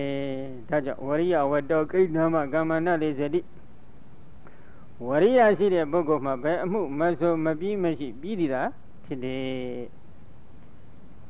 တတိတတိယဣန္ဒြေတစ်ခုနော်ဘာကိုတတိခေါ်လဲလို့မေးတော့တတိယတရားအာယုန်ဤအပေါ်၌မမိတ်ပြောက်တဲ့သဘော ခိုင်မြဲမှုရှိနေတဲ့သဘောစိတ်ခိုင်မြဲနေတဲ့သဘောတတိယတရားအာယုန်တွေကဘာလဲကာယဝေဒနာစိတ်ဓာဓမ္မဘယ်နှမျိုးရှိလဲ၄မျိုးကာယအရာကယုတ်တရားကိုဥတည်ထားတယ်သို့တော်လည်းကာယ ानु ပါဒနာတတိပ္ပံဘိုင်းမှာဘုရားရှင်သည်အာနာပါနတို့ကဲ့သို့မမာတိထူထောင်ပုံစခန်းတွေကိုလည်းမြတ်စွာဘုရားထီးသွင်းပြီးဟောကြားထားတော်မူပါတယ်ဒါကြောင့် မိမိကတမာရီပိုင်းသာရှိနေသေးရင်သမထနမိတ်အာနာပါနပရိပါကနမိတ်ကဲ့သို့သောသမထနမိတ်အာယုံပေါ်၌စိတ်ဓာတ်တွေခိုင်မြဲနေတဲ့သဘောဒီအာယုံကိုမေ့ပြောက်မမေ့ပြောက်တဲ့သဘောသည်တတိပဲခုအာနာပါနနမိတ်ကလေးတချို့ပေါ်ပြီးတော့ကြပြောက်လိုက်တော့ကြပေါ်လိုက်တော့ကြပြောက်လိုက်တော့ကြပေါ်လိုက်တတိအာကောင်းသလားမကောင်းဘူးလားအာမကောင်းတတိအာကောင်းလာပြီဆိုရင်ဒီနမိတ်ကလေးမပြောက်ပြတ်တော့ဘူးဆက်လက်ပြီးတည်နေတယ်နော်အဲ့ဒီ အာကောင်းနေတဲ့တတိကဒီအာယုံကိုမမေ့ပြောက်တဲ့သဘောပြောက်ပြက်မတော့အောင်ထိမ့်ချုပ်ထားနိုင်တဲ့အစွမ်းအားဒီတတိမှာရှိနေတယ်အလားတူပဲမိမိတို့ကဝိပဿနာဘက်ရောက်လို့ဝိပဿနာနယ်ရှုနေပြီဆိုရင်ယုတ်တရားတွေကိုလှမ်းရှုယုတ်တရားတွေကိုအချိန်မျိုးရှုလို့ရတယ်သုံးသပ်လို့ရတယ်မမိတ်ပြောက်ဘူးနန္တရားတွေကိုလှမ်းရှုနန္တရားတွေကိုအချိန်မျိုးရှုလို့ရတယ်သုံးသပ်လို့ရတယ်မမိတ်ပြောက်ဘူးအကြောင်းတရားအကျိုးတရားတွေကိုရှုအချိန်မျိုးရှုလို့ရတယ် အကြောင်းတရားနေတဲ့ကတရုပ်နန္ဒီရဲ့အနိစ္စသဘောဒုက္ခသဘောအနတ္တသဘောတွေကိုလက္ခဏာရေးသုံးတန်တလက်စီတင်ပြီးတွင်ညဝိပဿနာရှုအချိန်မျိုးရှုလို့ရနေတယ်ဘာဖြစ်လို့လဲတတိရဲ့စွမ်းအားပဲဒီတတိရဲ့စွမ်းအားကဘလောက်အထိအင်အားကြီးမှတယ်လို့မေးရင်ဟိုးရှေ့ရှေ့ကရှေ့ရှေ့ဆိုတာကဒီဘဝမှာပဲဖြစ်စေလွန်ခဲ့တဲ့အတိတ်ဘဝထိုးထိုးကပဲဖြစ်စေပြုမှုခဲ့တဲ့အကြောင်းအရာ ပြောဆိုခဲ့တဲ့အကြောင်းအရာတွေကြံစည်စိတ်ကူးတဲ့အကြောင်းအရာတွေကိုတော့လဲလှမ်းပြီးအာယုံယူကြည့်ယူယူလို့ရတယ်ဒါတတိယစွမ်းအားထက်လာဒီတော့ဒီတတိယစွမ်းအင်ထက်မြက်ခြင်းတယ်ဆိုလို့ရှိရင်ဘာလို့ရမလဲတတိယဒီယာအာယုံဖြစ်တဲ့သမာဓိပိုင်းရှိနေသမာဓိသမထနမိတ်တွေအပေါ်၌ဘာဝနာစိတ်ကိုခိုင်မြဲအောင်လေ့ကျင့်ပေးရတယ်လေ့ကျင့်လိုက်ရင်ဒီတတိသည်အကောင်းလာတယ် မိမိကဝိပဿနာဘက်ရောက်ရင်ဝိပဿနာဉာဏ်ရဲ့အရှုကအယုံဖြစ်တဲ့ကာယဝေဒနာစိတ်ဓမ္မအမိရတဲ့တရားတွေကိုကျင်းဖန်မြတ်စွာထက်ကထက်ကသုံးသပ်ပေးရတယ်။လေ့ကျင့်မှများလာရင်ဒီတတိသည်အင်းအားစွမ်းအားတွေထက်မြက်လာတယ်။စိတ်ရဲ့စွမ်းအားတစ်ခုပဲဒီတတိကနော်။အလွန်တကုအာနိသင်ထက်မြက်တဲ့စိတ်တစ်ခုကိုအလိုရှိကြတယ်ဆိုရင်ဒီလိုစွမ်းအင်ပြည့်ဝနေတဲ့တတိတစ်ခုကိုလည်းရအောင်ထူထောင်ဖို့လိုတယ်။ ရှိတော့တရားတိဟူသောစွမ်းအားရှိခဲ့မယ်ဝရိယတိဟူသောစွမ်းအားလည်းရှိခဲ့မယ်တတိတိဟူသောစွမ်းအားလည်းရှိခဲ့မယ်ဆိုရင်စွမ်းအင်ကြီးသုံးခုတော့ပြည့်ဝသွားပြီဒီစွမ်းအင်တွေကနိဗ္ဗာန်သွားနေတဲ့တော်ကောင်းမဲခင်ရှင်ပါအကျင့်မြတ်တရားတိဟူသောလမ်းကြောင်းအတိုင်းနိဗ္ဗာန်ကိုတာဆူပြီးဖြောင်းဖြောင်းလျှောက်နေတဲ့တော်ကောင်းအဖို့ နိဗ္ဗာန်သွားရလမ်းကြောင်းဘောကနေဘေးကိုတိမ့်ဆောင်ပြီးကြမတော့အောင်ထိတ်ချုပ်ထားနိုင်တဲ့စွမ်းအားအပြည့်အဝရှိပါတယ်။ဒါကြောင့်ဘုရားရှင်ကအိန္ဒြေဆိုပြီးဒီလိုသတ်မှတ်ချက်နဲ့ဟောနေတယ်။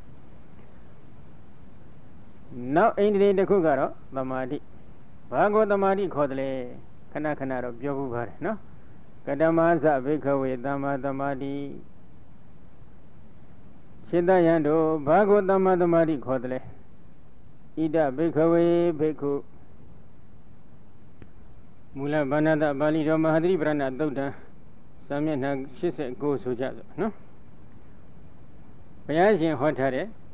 မေခွန်းလေးထုတ်ပြီးတော့ကတမောသဘိခဝေသမ္မာသမာဓိယဟန်တို့ဘာကိုသမ္မာသမာဓိလို့ခေါ်ဆိုတဲ့ဣ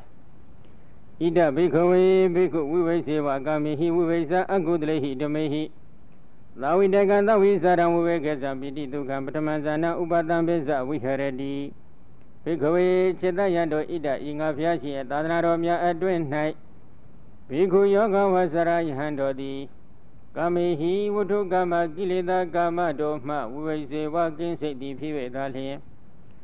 အကုသလေဟိတမေအကုသိုလ်တရားတို့မှဝိဝိဇာဝိဝိစေဝကိစိတ်တိဖြစ်၍သာလျင်သာဝိတကဝိတနှင်းလီတကွဖြစ်သောသာဝိဇာရံဝိဇာရနှင်းလီတကွဖြစ်သော ဝိဝေကဇာနိဝရဏတရားကိစိတ်ခြင်းကြောင့်ဖြစ်ပေါ်၍လာသောပိတိဒုက္ခနိတ္တခြင်းပိတိချမ်းသာခြင်းဒုက္ခရှိသောပထမဇာနာပထမဇံကိုဥပတံပစ္စ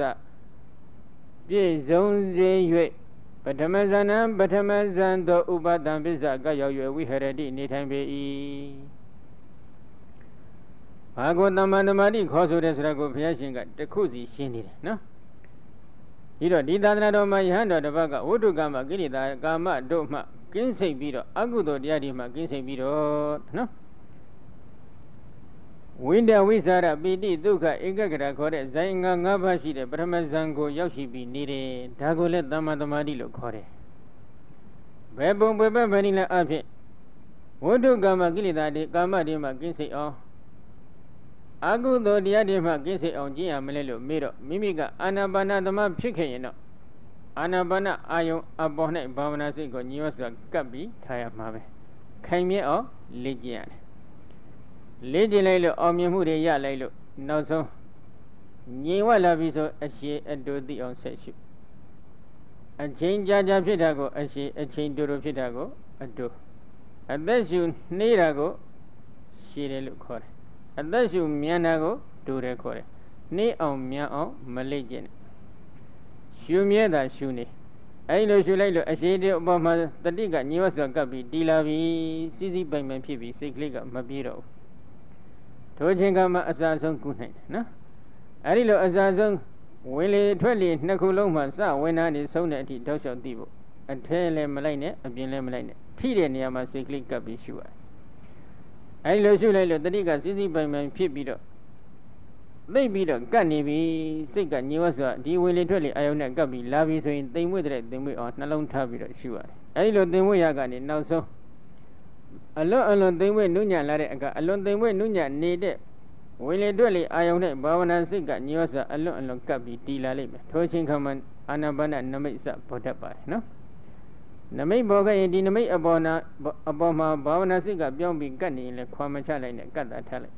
မကတ်သေးဘူးဆိုလို့ရှိရင်တော့ပေါ်စားမှနမိတ်ကိုသွားပြီးစိတ်ကပြောင်းကတ်လိုက်ရင်နမိတ်မခိုင်မဲနဲ့ပျောက်ပျောက်သွားတတ်တယ်ပဂတိဝင်လေတွက်လေကိုသာစူးစူးစိုက်စိုက်နဲ့ထိုဝင်လေထွက်လေအာယုံပေါ်နဲ့ညီဝတ်စွာတတိလေးကပ်ပြီးတည်နေအောင်စိတ်ကလေးကပ်ပြီးတည်နေအောင်သာဆက်လက်ကြိုးပမ်းပါဒီလိုကြိုးပမ်းခြင်းဖြင့်ဒီနမိတ်ဒီခိုင်လာမယ်အဲဒီလိုခိုင်ကလာတဲ့အချိန်ခါမှာဒီ နမိတ်ကဖြူရာကနေပြီးတော့နောက်ဆုံးကြည်လင်တောက်ပါလာမယ်ကြည်လင်တောက်ပါနေတဲ့ဒီနမိတ်ကိုအာယုံယူပြီးတော့မိမိရဲ့ဘာဝနာစိတ်ကိုပြောင်းပြီးတော့ကတ်ထားနိုင်ခဲ့မယ်ဆိုရင်တဏှာနှစ်နိုင်စတဲ့ဖြင့်ညီဝတ်စွာကပ်ပြီးတည်နေပြီဆိုလို့ရှိရင်ထိုချိန်ခါမှာဥပစရသမာဓိနေမြေဘက်စကူးပြီဆိုကြစို့နော်အဲ့ဒီဥပစရသမာဓိနေမြေဘက်ကိုစပြီးကူးသွားပြီဆိုတဲ့အချင်းခါကစပြီးတော့ဘာဖြစ်လာလဲ ဘိခဝေจิตတယံတို့ဣဒဤသာသနာတော်၌ဘိက္ခုယောဂီယဟန်တိကာမေဟိဝုထုကာမကိလေသာကာမတို့မှဝိဝေစေဝကင်းစိတ်သည်ဖြစ်၍သာလျှင်အကုတလေတမေအကုသိုလ်တရားတို့မှဝိဝေစာကင်းစိတ်သည်ဖြစ်၍သာလျှင်သာဝိတကံဝိတေနှင်းလီတကွဖြစ်သောသာဝိစာရံဝိစာရနှင်းလီတကွဖြစ်သောဝိတက်ဘုနကအလွန်ကြည်လင်တောက်ပနေတဲ့အာနာပါနနမိတ်ကိုအာနာပါနပရိဘာကနမိတ်လို့ခေါ်တယ်နော် ဝိတက်အာနာပါနပရိဘာကနမိတ်အာယုံဘောသောစိတ်ကိုရှေ့ရှုတင်ပေးနေခြင်းသဘော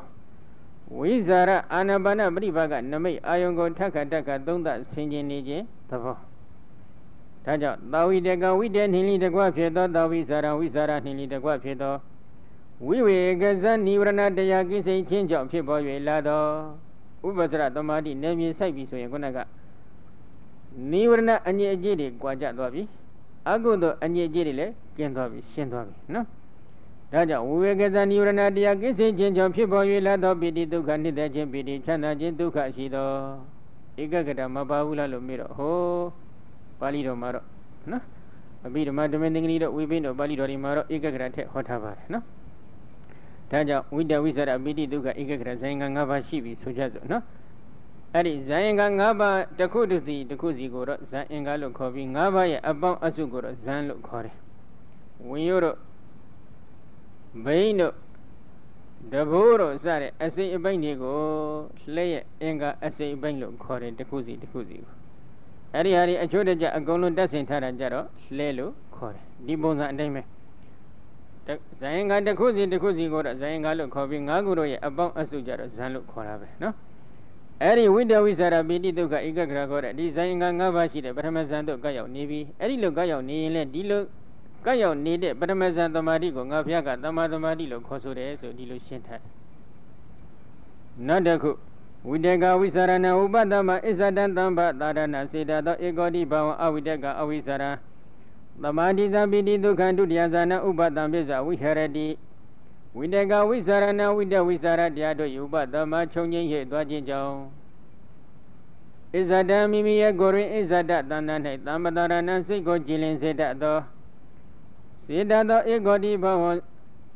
စိတ်ဤမြတ်သောတည်ကြည်မှုတမာတိကိုဖြစ်စေတတ်သောအဝိတကဝိတလိမရှိသောအဝိဇ္ဇာရံဝိဇ္ဇာရလိမရှိသောတမာတိဇံပထမဇံတမာတိကြောင့်ဖြစ်ပေါ်၍လာရသော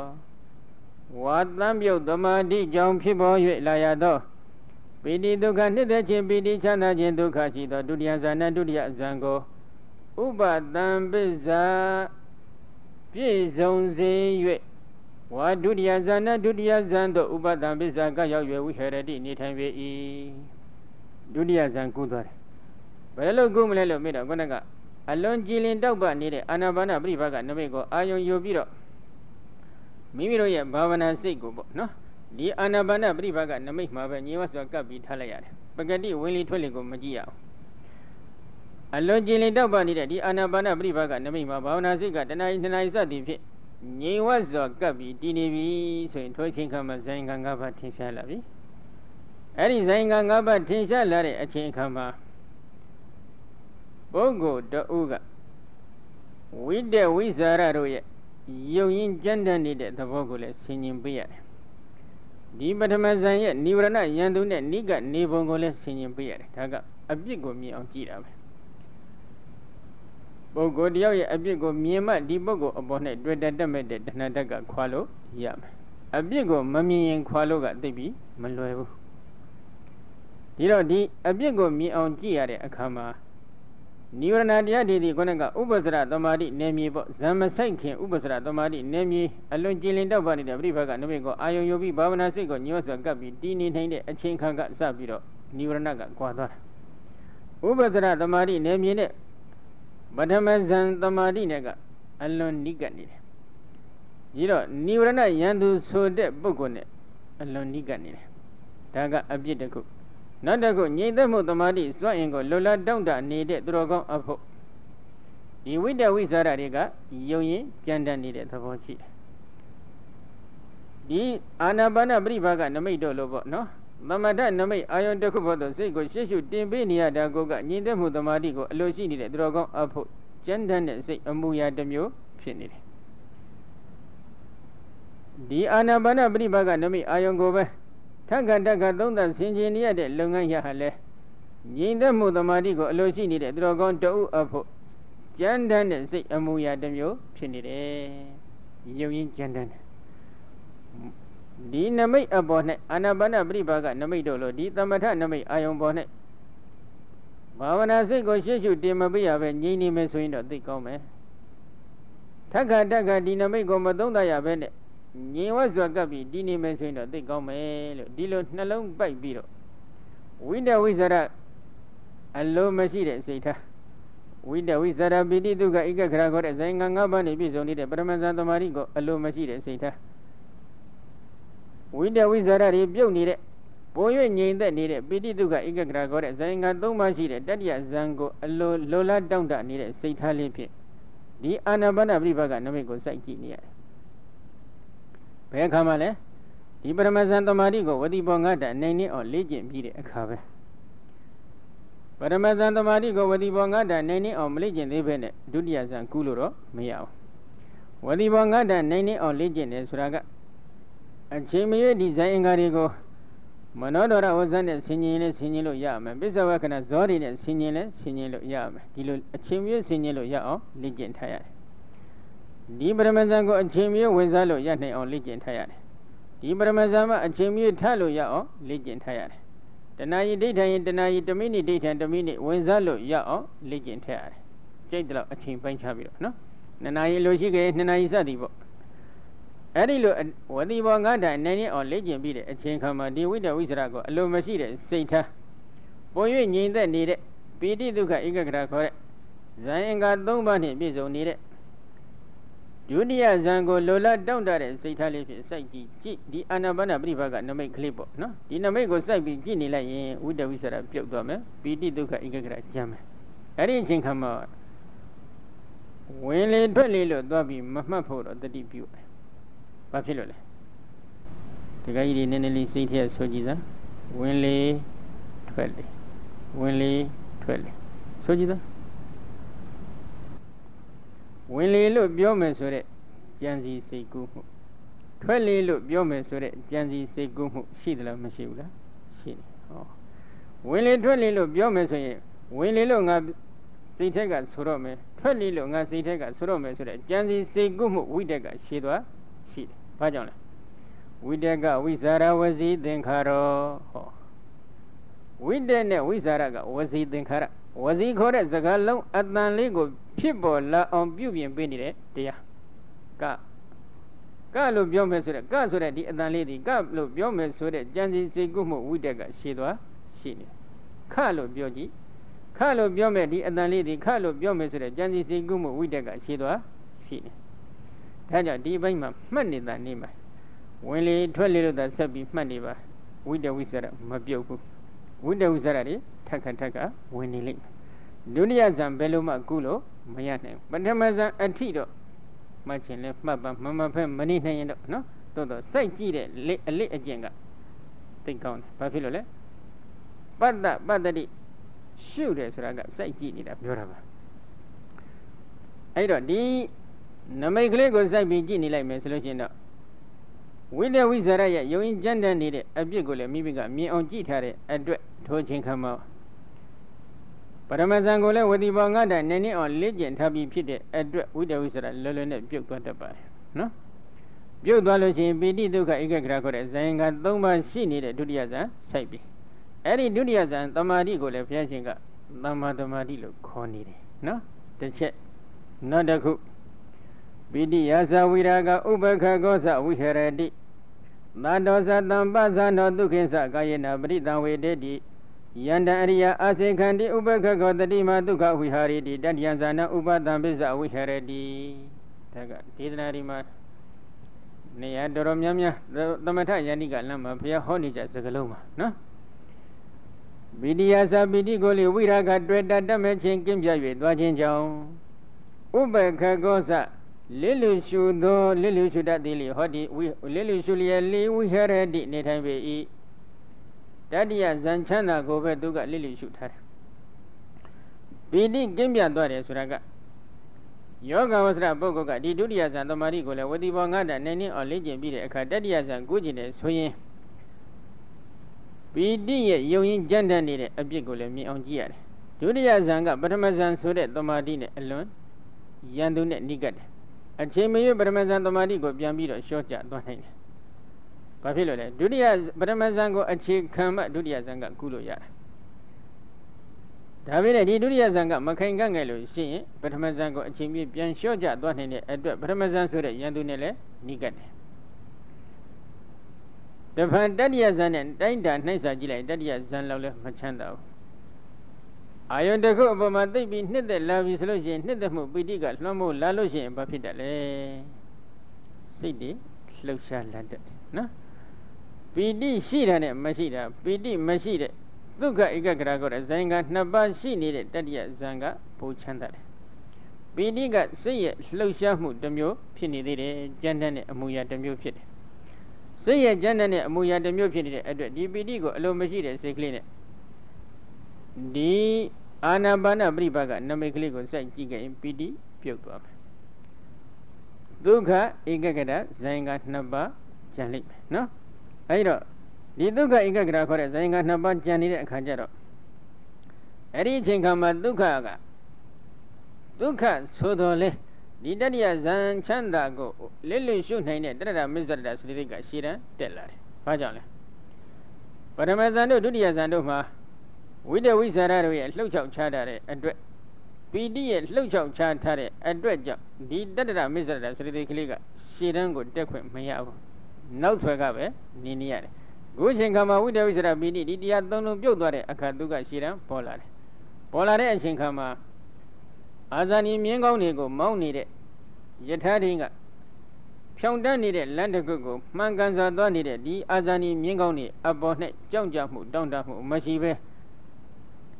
ငြိမ်ဝတ်စွာဖြင့်စိတ်ကလေးအေးချမ်းချမ်းနဲ့လိုက်ပါပြီးသွားတယ်လို့နော် ခုဒီတိုင်းပဲဒီတတ္တိယဇာရဲ့ချမ်းသာတတ္တိယဇာရဲ့အရှုကအာယုံဖြစ်နေတဲ့အာနာပါနပြိပကနမိတ်အာယုံပေါ်၌ကြောက်ကြမှုတောင့်တမှုမရှိပဲအညီအမျက်စိတ်ကိုအလဲအလတ်ထားပြီးတော့ရှုပွားနိုင်တဲ့တတ္တမစ္ဆရတာခေါ်တဲ့ဥပ္ပခါလေးဒီခါမှာစွန့်အားထက်လာတယ်ရှင်းတန်းဝင်လာပြီနော်ပီတိလည်းပြုတ်သွားပြီဒါကြောင့်ပီတိယသပီတိကိုလေဝိရာကတွေ့တတ်တတ်မဲ့ခြင်းကင်းခြင်းကြောင့်ဥပ္ပခါကောသ တတ္တိယဇံချမ်းသာကိုပင်လိလူရှုရှုတတ်ရှုလူရဲ့မူလိဝိဟရတိနေထိုင်ပေ၏တန်တော်သတတိနှင့်ပြည့်စုံသည်ဖြစ်၍၎င်းတမ္ပါဇာနောသဆင်ញင်တတ်သောတမ္ပဇဉာဏ်နှင့်ပြည့်စုံသည်ဖြစ်၍၎င်းဝိဟရတိနေထိုင်ပေ၏တတိတမ္ပဇဉာဏ်ရှင်ပြီးနေတယ်လစ်လစ်ရှုထားတယ်ဆိုတော့ဥပ္ပခဂယုမဆိုင်တာမျိုးမဟုတ်ဘူးဒီအာနာပါနပရိပါကနမိတ်ကလေးအပေါ်နဲ့ခိုင်မြဲတဲ့တတိရှိတယ်ဒီအာနာပါနပရိပါကနမိတ်ကို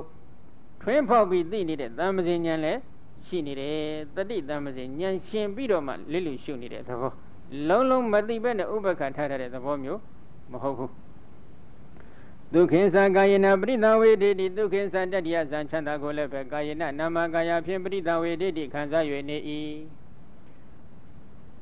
လစ်လစ်ရှုထားတယ်ဆိုတော့လေဒီချိန်ကမှဥပ္ပခဝေဒနာတော့မဟုတ်ဘူးဒုက္ခဝေဒနာပဲဒီတတ္တိယဇံချမ်းသာလေးကိုခံစားနေတယ် နာမကာယနဲ့ခံစားနေပြီယန္တရိယအာစိခဏိဥပ္ပခကောတတိမဒုက္ခဝိဟာရတိတတ္တိယဇာနာဥပဒံပိစ္ဆဝိဟာရတိယန္တယင်တတ္တိယဇာနှင့်ပြည့်စုံနေတဲ့အရိယာတော်ယန္တယင်တတ္တိယဇာနှင့်ပြည့်စုံနေတဲ့သူတော်ကောင်းကိုအရိယာဖျားအစရှိသောအရိယာသူတော်ကောင်းတို့ကဥပ္ပခကောတတ္တိယဇာချမ်းသာကိုပင်လစ်လူရှုတတ်သူ တတိမာတတိရှိသူဒုက္ခဝိဟာရိချမ်းသာစွာနေလေရှိသည်ဟု၍အာစိခန္တိချိမဇကပြောကြတော်မူကြလေကုန်၏တန်တတရားဇန်တထိုတတရားဇန်တို့ဥပဒံပိစ္ဆကရောက်၍တန်တတရားဇန်တထိုတတရားဇန်ကိုဥပဒံပိစ္ဆပြည့်စုံစေရဝိဟရတိနေထိုင်နိုင်ပေ၏တတရားဇန်ဆိုင်ပြီနော်ပိဋိပြုတ်တဲ့ဒုက္ခဧကဂရခေါ်တဲ့ဇန်ကနှစ်ပါးရှိတဲ့တတရားဇန်ဆိုင်သွားပြီအဲ့ဒီတတရားဇန်တမာတိကိုလည်းဘုရားရှင်က မမ္မာတမာတိလို့ခေါ်ဆိုနေတယ်နောက်တစ်ခုဒုက္ခသသပါဏဒုက္ခသသပဟနာပုဗ္ဗေဝသောမနတဒေါမနတနာအထင်ကမအတုကမဒုက္ခဥပခတတိပါရိသောတေသရုဒ္ဒဇာနာဥပတံပိစ္ဆဝိဟရတိဒုက္ခသသဒုက္ခကိုလိပဟနာပဲခြင်းကြောင့်ဒုက္ခသသဒုက္ခကိုလိပဟနာပဲခြင်းကြောင့်ပုဗ္ဗေဝရှင်းမစွာကပင်လျင်သောမနတဒေါမနတနာသောမနတဝေဒနာဒေါမနတဝေဒနာတို့၏အထင်ကမခြုံငင်း၍သွားခြင်းကြောင့် အတုကမဒုက္ခဒုက္ခလိမဟုတ်ဒုက္ခလိမဟုတ်သောဥပက္ခတတိပါရိသုတ်တဲ့ဥပက္ခတိဥပက္ခတိဖြစ်စေအပ်သောတတိထေဝဉ္ဇဉ်စင်ကြယ်ခြင်းရှိသောသရုဒ္ဓဇာနသရုဒ္ဓဇံကိုဥပဒံပိစ္ဆာကရောက်၍သရုဒ္ဓဇာနသရုဒ္ဓဇံတို့ဥပဒံပိစ္ဆာကရောက်၍သရုဒ္ဓဇာနသရုဒ္ဓဇံကိုဥပဒံပိစ္ဆာပြည့်စုံစေရဝိဟရတိနေထိုင်နိုင်ပေ၏ ဒုက္ခဝေဒနာဒုက္ခဝေဒနာသောမနတဝေဒနာဒေါမနတဝေဒနာဒီဝေဒနာတွေကသရုဒ္ဓဇံစိုက်ပြီးဆိုရင်တော့အလုံးချုပ်နေပြီအစင်းစင်းနော်ရှေ့ပိုင်းတက်ကကြိုပြီးချုပ်သွားပြီချုပ်သွားတဲ့အခါကျတော့အဒုက္ခမဒုက္ခခေါ်တဲ့အလေအလတ်ခံစားမှုဒုက္ခမဟုတ်ဒုက္ခမဟုတ်တဲ့ဥပ္ပခဝေဒနာဒီခါမှာရှင်းလာပြီ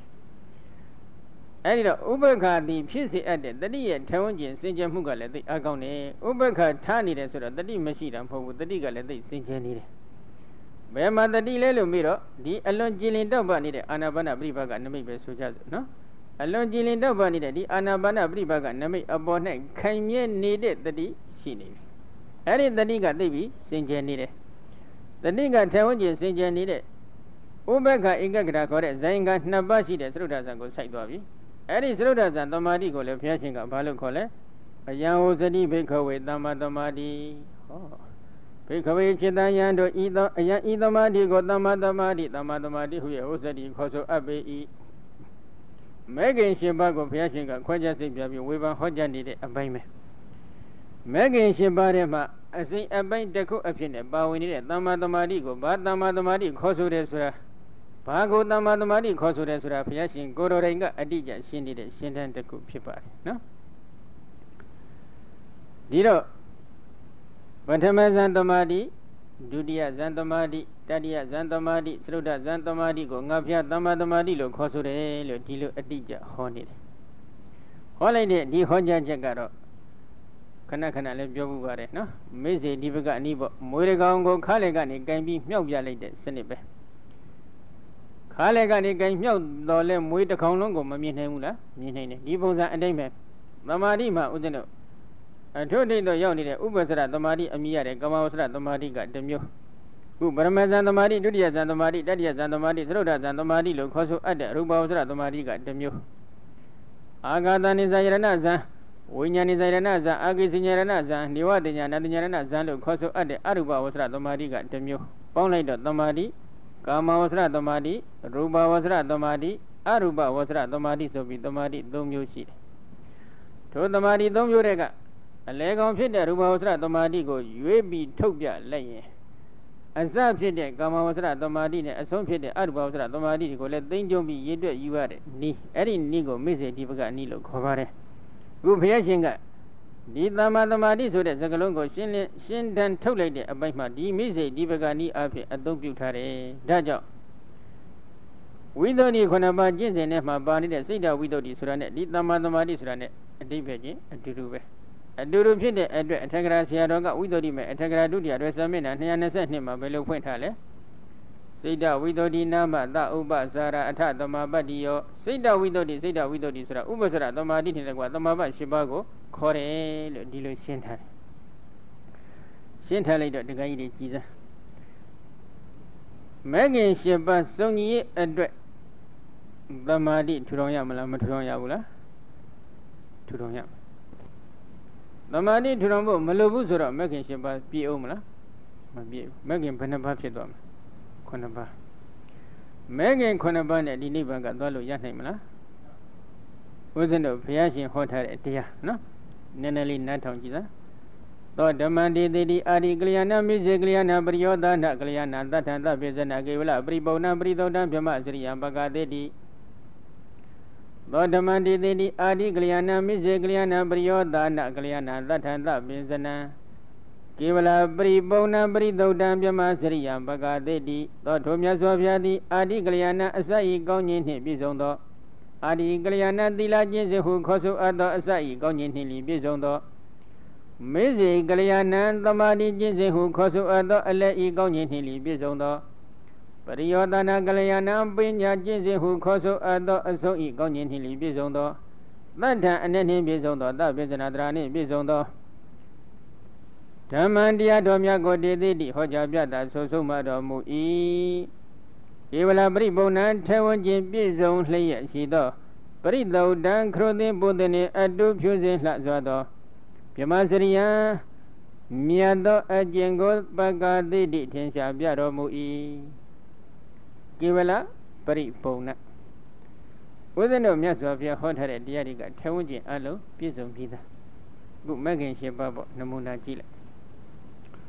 မဂ်ခင်က၈ပါးနဲ့မလုံလောက်ဘူးမဂ်ခင်၉ပါးမှနိဗ္ဗာန်ရနိုင်မယ်ဆိုပြီးထက်ထက်ကြည့်ထက်လို့ရလားမရအောင်မဂ်ခင်က၈ပါးနဲ့ပိုးနေပါတယ်ခုနှစ်ပါးနဲ့လည်းနိဗ္ဗာန်သွားလို့ရပါတယ်ဆိုပြီးနှုတ်ကြည့်နှုတ်လို့ရလားမရဘူးကေဝလ ပရိပုံဏထဲဝန်းကျင်အလုံးပြည့်စုံနေတယ်ထပ်တိုးလို့လည်းမရဘူးနှုတ်ပဲလို့လည်းမရဘူးဥစ္စံတို့ဘုရားရှင်ကဒီလိုအဝင်ခွင်ကြအတိကြဟောထားတဲ့တရားဒီတော့မဂ္ဂင်ရှင်ပါတဲ့မှာသမ္မာသမာဓိဆိုတဲ့မဂ္ဂင်တစ်ခုကအစိမ့်ပိုင်းတစ်ခုအဖြစ်နဲ့ပါဝင်နေတာဖြစ်တော့သမာဓိထူတော်မှုမလိုပါဘူးဆိုတော့မဂ္ဂင်က၈ပါးမပြည့်တော့ဘူးမဂ္ဂင်၈ပါးမပြည့်တော့ဘာဖြစ်သွားလဲမဂ္ဂင်9ပါးပဲ မဲခင်ခုနှစ်ပါးဖြစ်လိုက်တဲ့အချိန်ကကြတော့ဘာထုလဲသမာဓိရှိမှသိနိုင်တဲ့ယုတ်တရားနံတရားသိခွင့်ရအောင်မလားမရနိုင်ဘူးဘာဖြစ်လို့လဲသမာဓိဘေခဝေဘာဝေဒသမာဟိတောဘေခဝေ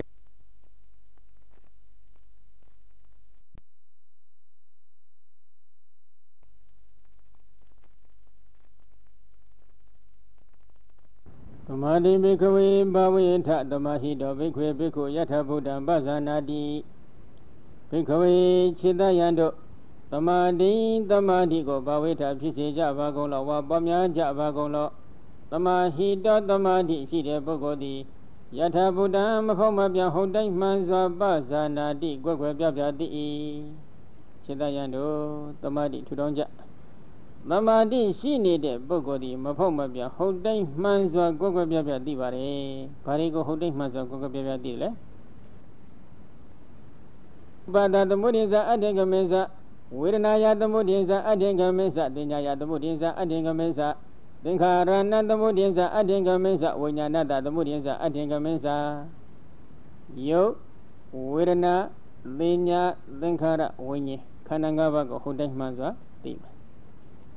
အဝိဇ္ဇာတနာဥပါဒံသင်္ကာရကံအစရှိတဲ့အကြောင်းတရားတွေထင်ရှားဖြစ်ခြင်းကြောင့်အကျိုးခန္ဓာ၅ပါးထင်ရှားဖြစ်ပုံဟုတ်တိုင်းမှစွာသိမယ်။အဝိဇ္ဇာတနာဥပါဒံသင်္ကာရကံအစရှိတဲ့အကြောင်းတရားတွေခြုံငင်း၍သွားခြင်းကြောင့်အကျိုးခန္ဓာ၅ပါးခြုံငင်းပုံကိုဟုတ်တိုင်းမှစွာသိမယ်။အကြောင်းအကျိုးနှစ်ရလုံးတို့ရဲ့အနိစ္စအချက်ဒုက္ခအချက်အနတ္တအချက်တွေလည်းဟုတ်တိုင်းမှစွာသိမယ်။အဲဒီလိုဟုတ်တိုင်းမှစွာသိတဲ့ယထာဘုဒ္ဓဉာဏ်အမြင်ရရှိရဲ့အတွက်သင်္ချေသားတို့သင်္ချေသမီးတို့သမာဓိထူတော်မှာဒီလိုဖျားတိုက်တွန်းထား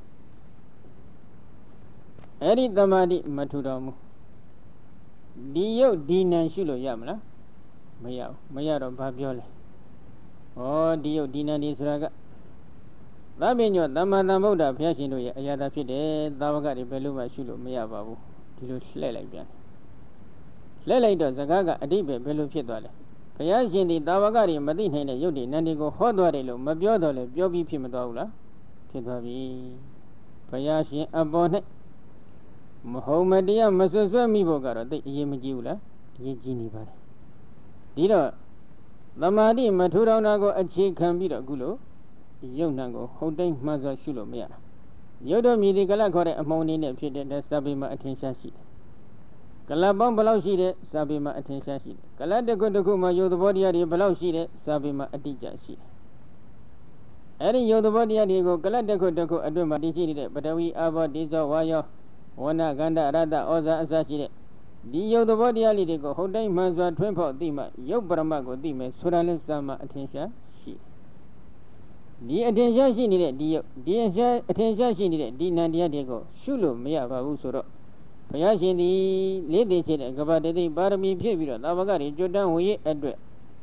အပိမန်ခံပြီးဟောထားတဲ့တရားတွေဟာသရဝါဒီအတွက်အကျိုးကျေးဇူးမများတဲ့သဘောဖြစ်မနေဘူးလား ဖြစ်နေပြီစဉ်းစားဖို့သိကောင်းတယ်နော်ဘာကိုအခြေခံတော့လဲလို့မြင်တော့ဒီတမ္မာသမာဓိဆိုတဲ့မက္ခိနဲ့မပြည့်စုံမှုကိုအခြေခံပါတယ်တမာဓိထူထောင်ရမယ့်နေရာမှာတမာဓိမထူထောင်တော့ဒီယုတ်ဒီနာကရှုမရခြင်းဖြစ်တယ်ဒီလိုဆိုရင်ဘာပြောလာလဲသုဒ္ဓဝိပဿနာယန္တိကပုဂ္ဂိုလ်တွေကဘယ်မှာတမာတိထထောင်လို့လဲတချို့ကဒီလိုပြောတယ်ဝိပဿနာကိုတက်ရိုက်သွားတာပဲသူတို့ကဒီလိုထင်ကြတယ်ဒီတော့ဒီသုဒ္ဓဝိပဿနာယန္တိကပုဂ္ဂိုလ်နဲ့ပတ်သက်လို့နော် ဝိသုဒ္ဓိမဲ့အထက်ကရာရဲ့တတ်မှတ်ချက်ကိုတော့ဥထိပ်ရပန်းစင်ပြီးလေးစားဖို့တော့လိုအပ်ပါလိမ့်မယ်ဒီသုဒ္ဓဝိပဿနာယန္တိကပုဂ္ဂိုလ်ကဒေတိဝိသုဒ္ဓိစကံကိုတက်ရိုက်သွားခြင်းနဲ့ဆိုလို့ရှိရင်ထိုပုဂ္ဂိုလ်ကဘာလို့ရတယ်သုဒ္ဓဝိပဿနာယန္တိကောဘာနာအယမေဘောဘာသမထယန္တိကောသတုဓာတုဝဝဌာနိဥဒ္ဒနာတိတံတိတံဓာတုပရိကမုခနာအညတရမုခဝတေနာသင်္ခေဘတောဝဝိထာရတောဝသတ္တတောဓာတုယောပရိကနာတိဒီလိုဖွင့်ထားတယ် သုဒ္ဓဝိပဿနာယန္တိကပုဂ္ဂိုလ်ကဒိဋ္ဌိဝိတ္တိစကံတက်ရိုက်သွားခြင်းနဲ့ဆိုရင်အကျဉ်းဤအဖြစ်တော်၎င်းအကျဉ်းဤအဖြစ်တော်၎င်းဓကမထံသတုဓာတုဝဝထံဘိုင်းမှဖွင့်ဆိုထားခဲ့တဲ့ဤအမျိုးမျိုးတို့အတွင်းဓာကြီးလေးပါးကိုသိသိကြောင့်ဖြစ်တဲ့နိလန်အမျိုးမျိုးတို့အတွင်တနည်းနည်းဖြင့်ဓာကြီးလေးပါးကိုစတင်ပြီးတော့သိသိရှုပွားပါလို့ဒီလိုညွှန်ကြားထားတယ်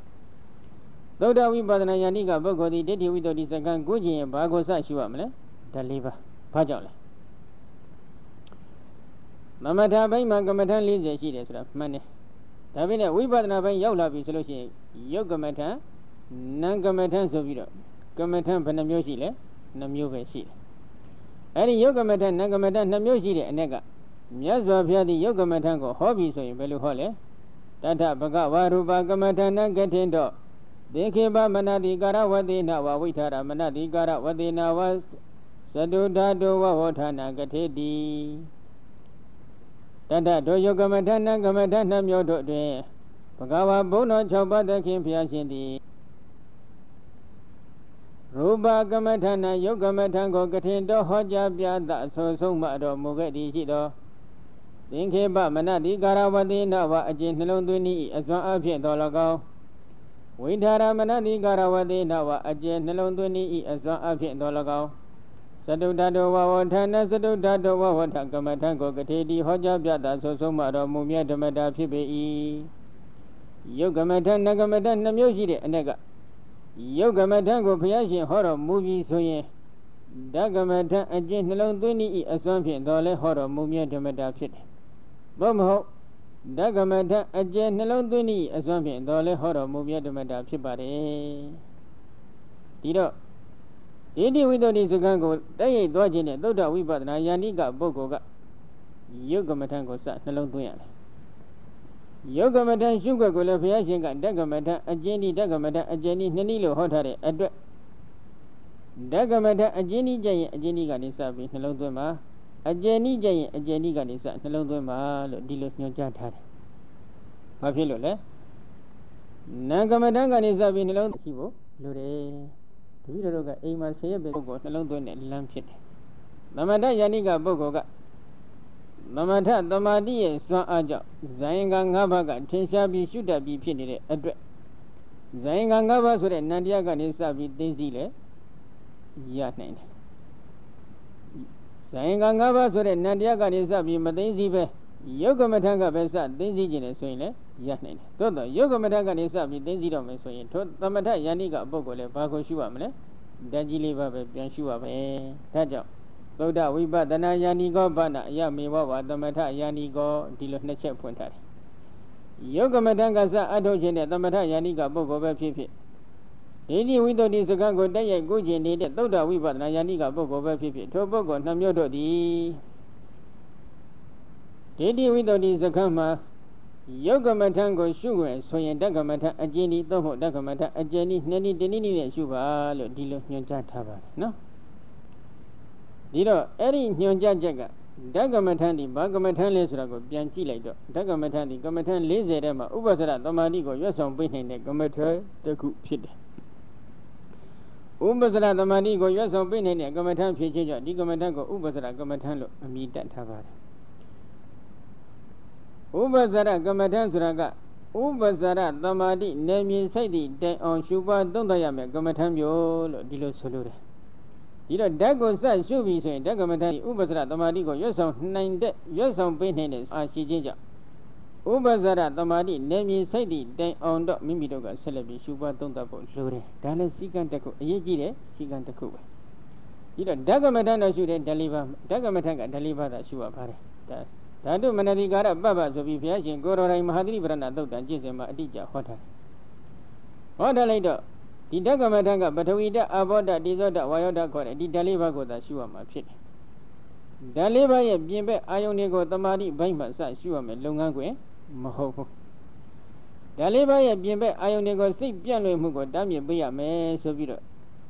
ဝိသုဒ္ဓိမေမဟာဒီကမဓကမထံအကျဉ်းဤရှုပွားွက်ဓကမထံရှုပွားွက် စည်းကမ်းဆယ်ချက်သတ်မှတ်ပေးထားပါတယ်နော်စည်းကမ်းဆယ်ချက်ထဲမှာအဲ့ဒီမှာ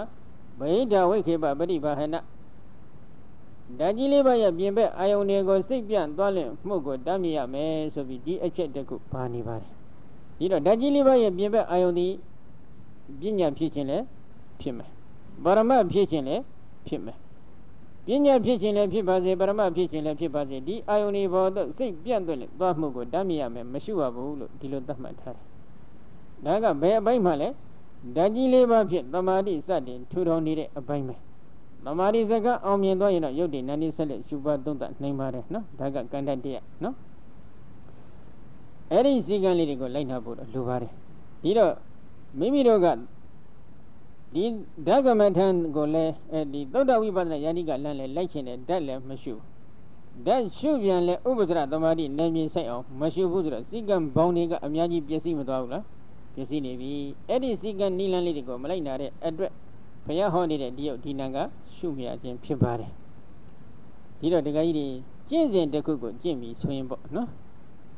ဘုရားဟောဒေသနာတော်အတိုင်းကျင့်တာနဲ့မိမိတို့နှိမ့်ချိတ်တဲ့ပုံစံအတိုင်းကျင့်တာနှစ်ခုရှိတဲ့အ ਨੇ ကဘဘုရားဟောဒေသနာတော်အတိုင်းကျင့်ခြင်းသည်နိဗ္ဗာန်ရရည်အတွက်ပို့ပြီးတော့စိတ်ချအဖွဲ့အချက်မဖြစ်နိုင်ဘူးလားဖြစ်နိုင်တယ် ဘုရားဟောဒေသနာတော်အတိုင်းမကျင့်ဘဲနဲ့ယုံကြည်ချက်တရားတရားတွေပြည့်ရွံ့သွားပြီဆိုရင်တော့တရားဆိုတဲ့အိန္ဒိတွေကနှုတ်သွားပြီတရားဆိုတဲ့အိန္ဒိတွေတစ်ခုကနှုတ်သွားပြီဆိုလို့ရှိရင်မိမိတို့နိဗ္ဗာန်သွားနေတဲ့မဲ့ခင်ရှင်ပါအကျင့်မြတ်တရားဘောကအကျင့်မြတ်တရားလို့ခေါ်ဆိုအပ်တဲ့လမ်းကြောင်းဘောကနေဘေးကိုတိမ့်ဆောင်ပြီးကြမတော့အောင်ထိချုပ်ထမ်းနိုင်တဲ့အိန္ဒိဆွမ်းအားရှိသေးလားမရှိတော့ဘူးဘေးချော်ကျသွားလိမ့်မယ်နော်ဒါကြောင့် ဘုရားအပေါ်၌ဖြစ်စေဘုရားရှင်ဟောကြားတော်မူအပ်တဲ့တရားအပေါ်၌ဖြစ်စေယုံကြည်ချက်တရားတရားအပြည့်အဝရှိဖို့တော့မလိုဘူးလားလိုအပ်တယ်ဒါကြောင့်ဘုရားဟောအတိုင်းကျင့်ကြီးတွေဒီကကြီးတွေပိုးပြီးစိတ်မချရဘူးလားစိတ်ချရပါတယ်ရှေ့တုန်းကဗာလဲသတင်းစာတွေထဲမှာကြော်ညာလေးတစ်ခုတွေ့ဘူးတယ်ရှင်းဝဲရင်ဒီစုစားမှာစိတ်ချရတယ်ဟောနိဗ္ဗာန်လိုချင်လည်းဒီတိုင်းပဲဘုရားဟောအတိုင်းကျင့်ကြီးတွေပိုးပြီးစိတ်မချရဘူးလား စိတ်ချရတယ်ဒါအသိအရေးကြီးတယ်နော်လုပ်ငန်းခွင်တစ်ခုအလုတ်လုတ်တဲ့အပိုင်းမှာစိတ်ချလက်ချအားကိုးရတဲ့လုပ်ငန်းခွင်ဒီအကောင်းဆုံးဖြစ်တယ်နော်ကဲဒီတော့ဒီမဂ္ဂင်၈ပါးထဲမှာမာမသမာဓိဆိုတဲ့မဂ္ဂင်တစ်ခုကိုဘုရားရှင်ကထည့်သွင်းပြီးဟောထားတယ်အိန္ဒိ၅ပါးထဲမှာလည်းဒီမမဒိန္ဒိဆိုပြီးတော့အိန္ဒိတစ်ခုကိုမြတ်စွာဘုရားထည့်သွင်းပြီးဟောမထားဘူးလားဟောထားတယ်ဘာဖြစ်လို့ဒီသမာဓိကိုထည့်ဟောနေရလဲဒီသမာဓိဒီ နိဗ္ဗာန်သွားနေတဲ့သူတော်ကောင်းအဖို့မဲခင်ရှိပါအကျင့်မြတ်တရားလို့ခေါ်ဆိုအပ်တဲ့နိဗ္ဗာန်သွားရလမ်းကြောင်းဘောကနေဘေးကိုတိမ့်ဆောင်ပြီးကြမတော့အောင်ထိမ့်ချုပ်ထားနိုင်တဲ့စွမ်းအားရှိနေတယ်မမာတိရှိနေတဲ့စိတ်ထားတစ်ခုနော်ရုပ်ကိုဟုတ်တိုင်းမှန်စွာထွင်းဖောက်သိနိုင်တယ်နန္တရားတွေကိုဟုတ်တိုင်းမှန်စွာထွင်းဖောက်သိနိုင်တယ်အကြောင်းတရားအကျိုးတရားတွေကိုဟုတ်တိုင်းမှန်စွာထွင်းဖောက်သိနိုင်တယ် အကြောင်းတရားနေတဲ့ကွဒီယုတ်နန္တရားအနိစ္စအချက်ဒုက္ခအချက်အနတ္တအချက်တွေကိုလည်းဟုတ်တိုင်းမှန်စွာထွင်းဖောက်သိနိုင်တယ်အဲဒီလိုထွင်းဖောက်သိနေတဲ့ပုဂ္ဂိုလ်အဖို့ဒီယုံနာကြောင့်ကြောင့်သင်္ခါရတရားတွေရဲ့အနိစ္စအချင်းရာသို့မဟုတ်ဒုက္ခအချင်းရာသို့မဟုတ်အနတ္တအချင်းရာခေါ်တဲ့ဒီအချင်းရာတစ်မျိုးမျိုးအပေါ်၌ဘာဝနာစိတ်တွေညှောဆက်ကပ်ပြီးတော့ဒီနေလိမ့်မယ်အဲဒီလိုဒီနေတဲ့ဒီသမာဓိသည်သမ္မာသမာဓိဆိုတဲ့မဂ်ကင်၈ပါးထဲမှာလောကီသမ္မာသမာဓိမဂ်ကင်အစဉ်ထဲမှာဝင်နေပါတယ်ဒါလည်းသမ္မာသမာဓိတစ်မျိုးပဲ သို့တော့ဒီသမ္မာသမာဓိရရှိအတွက်ကခုနကပထမဇန်သမာဓိဒုတိယဇန်သမာဓိတတိယဇန်သမာဓိသရုပ်ဇန်သမာဓိအစရှိတယ်နော်ရူပဝဆရသမာဓိတွေကိုပဲဖြစ်စေအရူပဝဆရသမာဓိကိုပဲဖြစ်စေသို့မဟုတ်အထွတ်တိတ်တော့ရောက်နေတဲ့ဇန်နံကတ်နေတဲ့ဥပစရသမာဓိကိုပဲဖြစ်စေပေါ့ဒီသမာဓိတစ်ခုခုကိုတော့ကြိုတင်ထူထောင်ဖို့လိုအပ်နေတယ်ဒီသမာဓိတစ်ခုခုကိုကြိုတင်ထူထောင်နိုင်ပါမှဒီယုံနာကြောင့်ကြောင့်သင်္ခါရတရားတွေရဲ့အနိစ္စအချင်းဟာသို့မဟုတ်ဒုက္ခအချင်းဟာသို့မဟုတ်အနတ္တအချင်းဟာမှာဘာဝနာစိတ်ကညှော့ဆော့ကပ်ပြီးတည်နိုင်တယ် ရှေ့ကတမာတိခံထတာမရှိခဲ့ရင်ဘယ်လိုမှဒီယုံနာလည်းမသိနိုင်ဘူးဒီယုံနာမသိဘူးဒီအကြောင်းကျိုးလည်းမသိနိုင်ဘူးဒီယုံနာဒီအကြောင်းကျိုးမှမသိရင်ဒီယုံနာအကြောင်းကျိုးသင်္ခါရတရားတွေအနိစ္စအချင်းအဒုက္ခအချင်းအနတ္တအချင်းအ၌ဘာဝနာစိတ်တည်ညောစွာကပ်ပြီးဘယ်လိုလုပ်တည်တော့မလဲမတည်နိုင်ဘူးနော်အဆင့်မြင့်တဲ့ဝိပဿနာတမ္မာတမာတိလည်းဖြစ်ပေါ်ပြီးမလာနိုင်ဘူးထို့တဲ့ဝိပဿနာတမ္မာတမာတိမှမဖြစ်ခင်ရင်ဝိပဿနာဉာဏ်မှမရှိတဲ့ပုဂ္ဂိုလ်ရဲ့တန်တမှာ ဝိပဿနာဉာဏ်တို့ရဲ့အဆုံးနဲ့ပေါ်လာနိုင်တဲ့အရိယာမဉဏ်ကိုဖြစ်အောင်မလားမဖြစ်တော့အရိယာမဉဏ်မှမဖြစ်ရင်အရိယာမဉဏ်နဲ့ရှင်တွဲနေတဲ့လောကုတ္တရာတမ္မာတမာတိမဂ်ခင်တစ်ခုကပေါ်လာအောင်မလားမပေါ်လာတော့ဘူးဒါအရှင်းစစ်နော်ဒါကြောင့်လောကီတမ္မာတမာတိကိုအခြေခံ၍လောကုတ္တရာတမ္မာတမာတိကတက်ယူရမှာဖြစ်တော့လောကီတမ္မာတမာတိကိုမှထူထောင်မှုမရှိတဲ့ပုဂ္ဂိုလ်ကလောကုတ္တရာတမ္မာတမာတိရရှိအတွက်ဘယ်လိုမှမဖြစ်နိုင်ဘူးဒီလုပ်ငန်းခွင်ကိုတော့အတိအကျ လက်ခံနိုင်တဲ့ယုံကြည်တဲ့တရားတရားရှိဖို့လိုတယ်နော်ဒီတော့အိန္ဒိယ၅ပါးထဲမှာဘုရားရှင်ဒီဒီတမာတိကနိဗ္ဗာန်သွားရလမ်းကြောင်းကနေနိဗ္ဗာန်သွားလို့တဲ့ယောဂဝတ္တပုဂ္ဂိုလ်ရဲ့စိတ်အစဉ်ကိုတိမ့်ဆောင်ပြီးကြမတော့အောင်ထိမ့်ချုပ်ထားနိုင်တဲ့စွမ်းအားအပြည့်အဝရှိခြင်းကြောင့်တမာတိနေတယ်ဆိုပြီးတော့ဘုရားကထည့်ဟောထားတယ်နောက်တစ်ခုပညာပညာကလည်းခေါင်းကပညာရဲ့အနိကဆုံးအကြောင်းဒီပါလေ သမာဟိတောယထာဘုဒ္ဓဇာနာတိပတ္တိလို့ဘုရားရှင်ဟောထားတယ်ဟောသမာဓိရှိတဲ့ပုဂ္ဂိုလ်ဒီဟုတ်တိုင်းမှဆိုသိတယ်မြင်တယ်လို့ဘုရားဟောထားတဲ့အတွက်သမာဓိရဲ့ပညာရဲ့အနိကဆုံးအကြောင်းတရားဒီသမာဓိဖြစ်တယ်သမာဓိဒီပညာရဲ့အနိကဆုံးအကြောင်းတစ်ခုဖြစ်တယ်အဲဒီတော့အကြောင်းတစ်ခုဖြစ်နေတော့ဒီသမာဓိနဲ့ပညာကလည်းခွင်းဆက်နေတယ်ခွင်းဆက်တော့ပညာဆိုတာကအဒီနေရာမှာဥရိယပြဉာဏ်ပညာကိုအလဲကောင်ကနေကံပြီးတော့ပညာအလုံးဝိပဿနာဉာဏ်ပညာအလုံးကိုအထူးသဖြင့်ရည်ညွှန်းထားတယ် လောကီပိုင်းပေါ့လောကုတ္တရာဘိုင်းကျတော့အရိယာမဲ့နဲ့ရှင်တွဲနေတဲ့အရိယာမဲ့ညာကိုပညာလို့သတ်မှတ်ချက်ရှိတယ်နော်ဒီတော့ဒီနေရာမှာလောကီဘိုင်းမှာကဒီပညာကခေါင်းကယုံနာကြောင်းကြောသင်္ခါရတရားတွေရဲ့အနိစ္စဒုက္ခအနတ္တအချက်ကိုဟုတ်တိုင်းမှန်စွာသိနေတဲ့ဉာဏ်တွေပဲအဲ့ဒီဉာဏ်တွေကရှေ့ပိုင်းမှာတော့ဖြစ်မှုပြက်မှုနောက်ပိုင်းဘင်္ဂဉာဏ်ကနေစပြီးတော့အထက်ပိုင်းဉာဏ်တွေကြတော့အပြတ်တက်တက်သိမှုပဲနော်အဲ့ဒီသင်္ခါရတရားတွေရဲ့ ဖြစ်မှုပြက်မှုဘောပဲဖြစ်စေတော့မှအပြက်ကိုပဲဖြစ်စေအာယုံယူပြီးတော့အနိစ္စဒုက္ခအနတ္တလက္ခဏာသုံးတာတစ်လက်စီတင်ပြီးတွင်နေဝိပဿနာရှုလိုက်တဲ့အချိန်ခါမှာသောပုဂ္ဂိုလ်ရဲ့တန်တမာဝိပဿနာဉာဏ်တွေကရင့်ကျက်လာလို့ဝိပဿနာဉာဏ်တို့ရဲ့အဆုံးနဲ့အရိယာမဉ္ဇဉ်ပေါ်ခဲ့ရင်တော့ထိုအရိယာမဉ္ဇဉ်ကိုလည်းပညာလို့ခေါ်ပါတယ်နော်ဒီတော့ဒီပညာသည်လည်းပဲနိဗ္ဗာန်ကိုသွားနေတဲ့သူတော်ကောင်းအဖို့နိဗ္ဗာန်သွားရမဲ့ခင်ရှင်ပါအကျင့်မြတ်တရားလို့ခေါ်ဆိုအပ်တဲ့လမ်းကြောင်းပေါ်ကနေ ဘေးကိုတိမ့်ဆောင်ပြီးကြမတော့အောင်ထိမ့်ချုပ်ထားနိုင်တဲ့စွမ်းအားရှိတယ်ဘယ်လိုထိမ့်ချုပ်နိုင်ဒီကိစ္စတွေစဉ်းစားကြည့်စမ်းမိမိကိုယ်တိုင်ယုတ်ကလကလေးတွေမြင်ပြီးရှုလို့ရပြီယုတ်ကလတကုတကုမှာပတဝီအာဘောဒေဇောဝါယောအစင်းအနယတာဩဇာအစရှိတဲ့ယုတ်သဘောပရမတရားလေးတွေကိုလည်းရှုလို့ရပြီအဲဒီလိုရနေတဲ့သူတော်ကောင်းတူအဖို့နော်ဘေးပုဂ္ဂိုလ်တူကပြောမယ်ဒီယုတ်ဒီယုတ်တရားတွေဘယ်လိုမှရှုလို့မရနိုင်ပါဘူးလာပြောပြီ ရှုရတဲ့ပုဂ္ဂိုလ်ကရှုမရပါဘူးလို့ပြောနေတဲ့ပုဂ္ဂိုလ်ရဲ့စကားကိုလက်ခံအောင်မလားလက်မခံတော့ဘာဖြစ်လို့လဲသူ့ရဲ့ယုံကြည်ချက်တရားတရားကခိုင်သွားပြီစိတ်အစဉ်ကိုထိမ့်ချုပ်ထားနေတဲ့စွမ်းအားတွေရှိလာပြီဒီအသိဉာဏ်ကလည်းမဲခင်ရှင်ပါအကျင့်မြတ်တရားခေါ်တဲ့လမ်းကြောင်းကနေဘေးကိုတိမ့်ဆောင်ကြပြီးမတော့အောင်ထိမ့်ချုပ်ထားနေတဲ့စွမ်းအားရှိပြီတတိတတိနေတွေလည်းစွမ်းအားထက်လာတယ်ပြင်းကြီးနေတွေလည်းစွမ်းအားထက်လာတယ် ဒီတရားနဲ့ပညာတို့ကစွမ်းအားထက်လာပြီဆိုရင်ဒီတရားပညာဖြစ်ရခြင်းအကြောင်းရင်းဆက်စစ်ကြည့်လိုက်တော့တတိတမာတိတို့ရဲ့အကူအညီပါတယ်ဝရိယရဲ့အကူအညီပါနေတယ်ဒီချိန်ခါမှာဒီတော်ကောင်းအဖို့တရားဝရိယတတိဒီမာတိပညာခေါ်တဲ့အိန္ဒိယ၅ပါးစုံညီပြီးမနေဘူးလားစုံညီနေပြီအိန္ဒိယ၅ပါးမစုံညီတဲ့ပုဂ္ဂိုလ်နိဗ္ဗာန်သွားရလမ်းကြောင်းဘောကနေတိမ်းဆောင်ပြီးကြမတော့အောင်ထိချုပ်ထားနိုင်တဲ့စွမ်းအားကြီးတွေကပြက်ကွက်နေတဲ့အတွက်ထိုပုဂ္ဂိုလ်ဒီနိဗ္ဗာန်ရောက်နိုင်မလား မရောက်နိုင်ဘူးဘယ်ရောက်မလဲတဝဲတော့ရောက်ချင်ရောက်လိမ့်မယ်ထင်တယ်နော်ဟုတ်တယ်မဟုတ်လားတဝဲတော့ပြန်ဖို့စဉ်းစားနေတဲ့အတွက်တဝဲတော့ရောက်ချင်တယ်ရောက်သွားလိမ့်မယ်နဲ့တူတယ်နိဗ္ဗာန်သွားရလမ်းကြောင်းဘောကနေဘေးကိုတိမ်းဆောင်ပြီးတော့ကျသွားတာပဲဘာဖြစ်လို့လဲဒီတတဝရိယတတိသမာဓိပညာဒီစွမ်းအားကြီး၅ခုကသိပြီးအင်အားမပြည့်ဝဘူးအင်အားပြည့်ဝအောင်တော့ဆက်လက်ပြီးထူထောင်ဖို့လိုတယ် လွန်လိုက်တဲ့အချိန်ခါမှာအခုဒီနေရာမှာဘုရားရှင်ရဲ့လောကဝိတုဂုံတော်နဲ့ဒီအိန္ဒိယ၅ပါးနဲ့ဘယ်လိုဆက်ဆက်နေတယ်ဒီလိုတော့မေးချင်ရှိတယ်နော်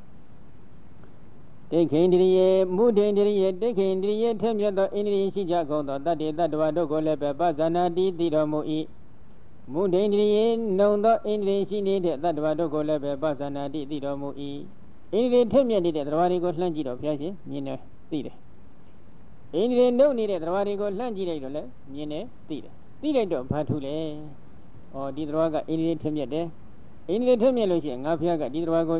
ကျွတ်တန်းဝင်ရဲ့အတွက်ဘယ်လိုချစ်ချွတ်ပြရမလဲဆိုတာလှမ်းကြည့်သိတယ်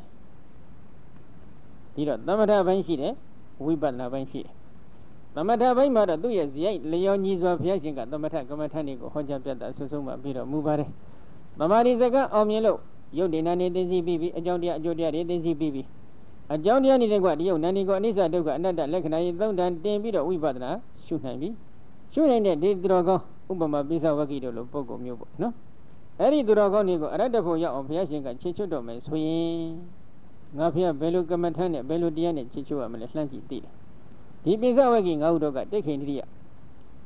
ထက်မြက်တဲ့အိန္ဒိယရှိနေတဲ့သူတော်ကောင်းတွေဖြစ်တယ်သူတော်ကောင်းတွေဖြစ်ခြင်းကြောင့်ဘုရားရှင်က ဒီဝိပဿနာဉာဏ်ရဲ့အရှုကအာယုံဖြစ်တဲ့တရားတွေကဒုက္ခသစ္စာတရားသမုဒိယသစ္စာတရားဒုက္ခသစ္စာတရားဆိုတာကဘာလဲအတိတ်အနာကပိစ္ဆုပန်ဣဇဒဗိဒဩလာရိကဒုက္ခမဟိနပဏိဒဒုရတန္တိကခေါ်တဲ့နော်တစ်ဆက်တစ်မျိုးသောအခြင်းအဖြစ်တည်နေတဲ့ဥပါဒနဲ့ခန္ဓာ၅ပါးသမုဒိယသစ္စာတရားဆိုတာကကြံကြိုးဆက်ပြိစ္ဆာသမုပ္ပါသဘောတရားအဲ့ဒီဒုက္ခသစ္စာတရားသမုဒိယသစ္စာတရားလို့ခေါ်ဆိုအပ်တဲ့ယုတ်တရားနံတရားတွေထင်ရှားရှိကြတယ် အဲ့ဒီယုတ်တရားနံတရားတွေကပရမတ္တသစ္စာနယ်ကသကလုံးလေးနဲ့လှည့်ပြီးတစ်မျိုးပြောလိုက်တော့စိတ်စေတသိက်ယုတ်တရားပဲနော်ပရမတ္တသစ္စာနယ်မှာတကယ်ထင်ရှားရှိနေတဲ့တရားတွေဘယ်နှမျိုးရှိလဲ၄မျိုးစိတ်စေတသိက်ယုတ်နိဗ္ဗာန်အဲ့ဒီစိတ်စရိတဲ့ယုတ်နိဗ္ဗာန်လို့ခေါ်ဆိုအပ်တဲ့ဒီပရမတ္ထဓာတ်၄မျိုးရှိတဲ့အ ਨੇ ကသတုဒ္ဒပရမတ်ဖြစ်တဲ့နိဗ္ဗာန်ကိုလောလတောင့်တနေတဲ့သူတော်ကောင်းများသည် စိတ်စရိတဲ့ယုတ်လို့ခေါ်ဆိုအပ်တဲ့ပထမပရမတ်တရားဒုတိယပရမတ်တရားတတိယပရမတ်တရားဒီကိုဟုတ်တိုင်းမှန်စွာသိအောင်လေ့ကျင့်ရတယ်ဟုတ်တိုင်းမှန်စွာသိတယ်ဆိုတာကဘယ်လိုဟုတ်တိုင်းမှန်စွာသိတာလဲမနေ့ကပြောခဲ့ပြီးပြီလေးဘက်လေးတန်ဟုတ်တိုင်းမှန်စွာသိရတယ်ဒီစိတ်စရိတဲ့ယုတ်တရားဒီရဲ့သဘာဝလက္ခဏာကိုလည်းဟုတ်တိုင်းမှန်စွာထွန်းဖောက်သိအောင်လေ့ကျင့်ရတယ်ဒီစိတ်ကလေးတွေယုံတရားတွေကိုဖြစ်ပေါ်စေတတ်တဲ့အကြောင်းတရားတွေကိုလည်းဟုတ်တိုင်းမှန်စွာသိအောင်လေ့ကျင့်ရတယ်။ဒီစိတ်ကလေးတွေယုံတရားတွေရဲ့ခြုံငင်းရာဖြစ်တဲ့ အသင်္ကရတအငိမ့်တနိဗ္ဗာန်ကိုလည်းဟုတ်တိုင်းမှန်စွာသိအောင်လေ့ကျင့်ရတယ်။ထိုခြုံငင်းရာသို့ရောက်ကြောင်းဖြစ်တဲ့မဂ္ဂင်ရှင်ပါအကျင့်မြတ်တရားလို့ခေါ်တဲ့ကျင့်စဉ်ကိုလည်းဟုတ်တိုင်းမှန်စွာသိအောင်လေ့ကျင့်ပေးရတယ်။လေးပဲလေးတန်ကလှည့်ပြီးလေ့ကျင့်ရတယ်။အဲဒီလိုလေ့ကျင့်ရမယ်အပိုင်းမှာဒီစိတ်ကလေးတွေယုံတရားတွေထဲမှာလောကုတ္တရာစိတ်စိတ္တိတွေကတော့ဝိပဿနာဉာဏ်ရဲ့အရှုကအာယုံမဟုတ်သည့်အတွက်ဘေးဖယ်ထားလိုက်တော့လောကီစိတ်စိတ္တိယုတ်တရားတွေကိုရှုရမှာရှုရမှာဖြစ်တယ်ထိုလောကီစိတ်စိတ္တိယုတ်တရားတွေထဲမှာလဲ မဟာကရိယာစိတ်တို့ရူပဝဆရကရိယာအရူပဝဆရကရိယာစိတ်တို့ကယဟနာအရှင်မြတ်တို့ရဲ့တဏ္ဍမှာသာဖြစ်တယ်အာတိတုပကရိယာစိတ်ကလည်းယဟနာအရှင်မြတ်တို့ရဲ့တဏ္ဍမှာသာဖြစ်တဲ့အတွက်ထိုစိတ်တွေကိုဘေးဖယ်ထုတ်လိုက်တယ်နော်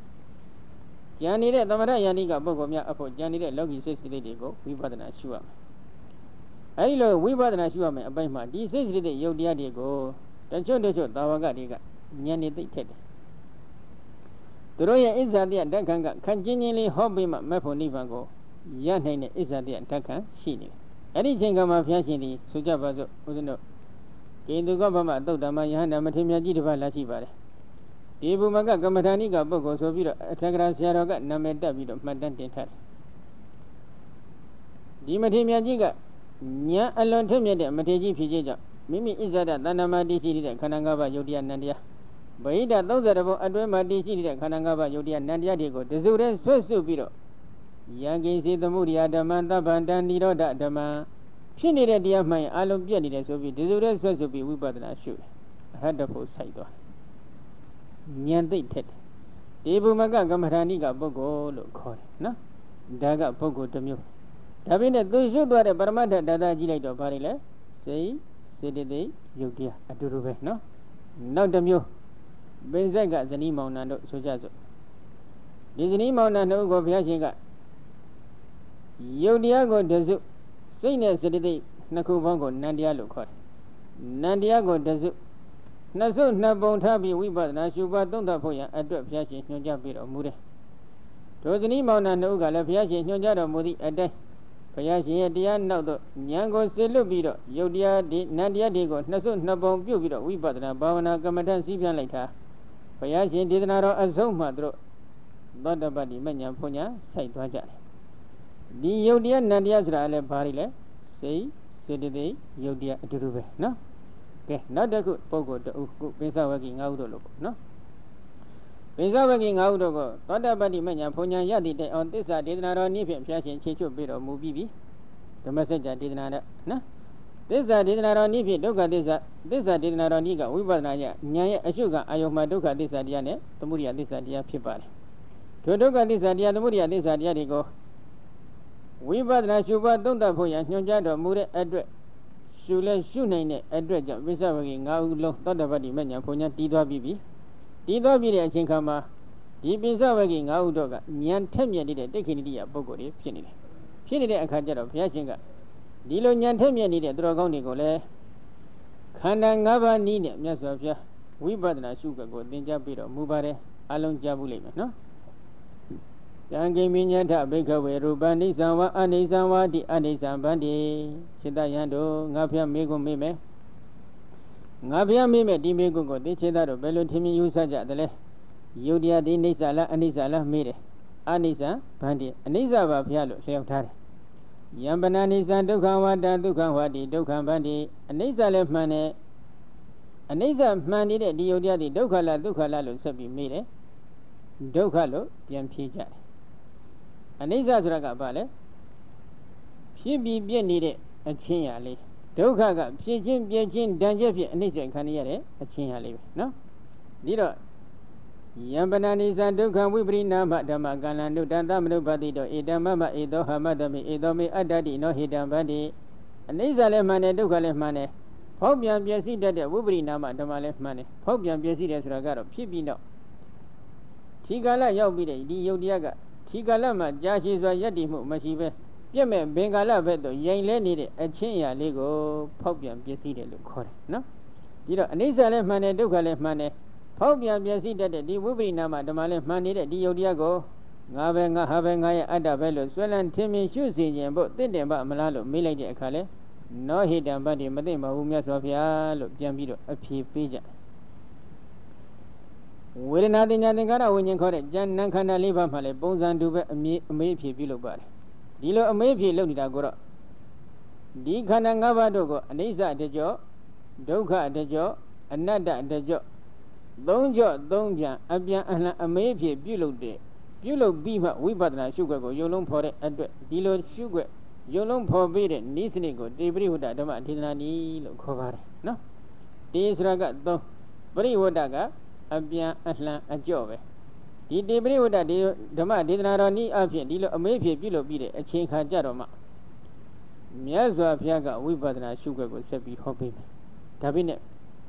အဲ့ဒီဝိပဿနာရှုွက်ကလေးကိုမနာမီတကကြီးတွေဥစဉ်တော့နည်းနည်းလေးစဉ်းစားဖို့အချက်ကလေးတစ်ခုတော့ထပ်မေးခြင်းနော်ဒီပိစဝဂိငါးဥဆိုတဲ့ပုဂ္ဂိုလ်တွေကသောတပတ္တိမညာဘုံညာလဲတည်ပြီးပြီဖြစ်တယ်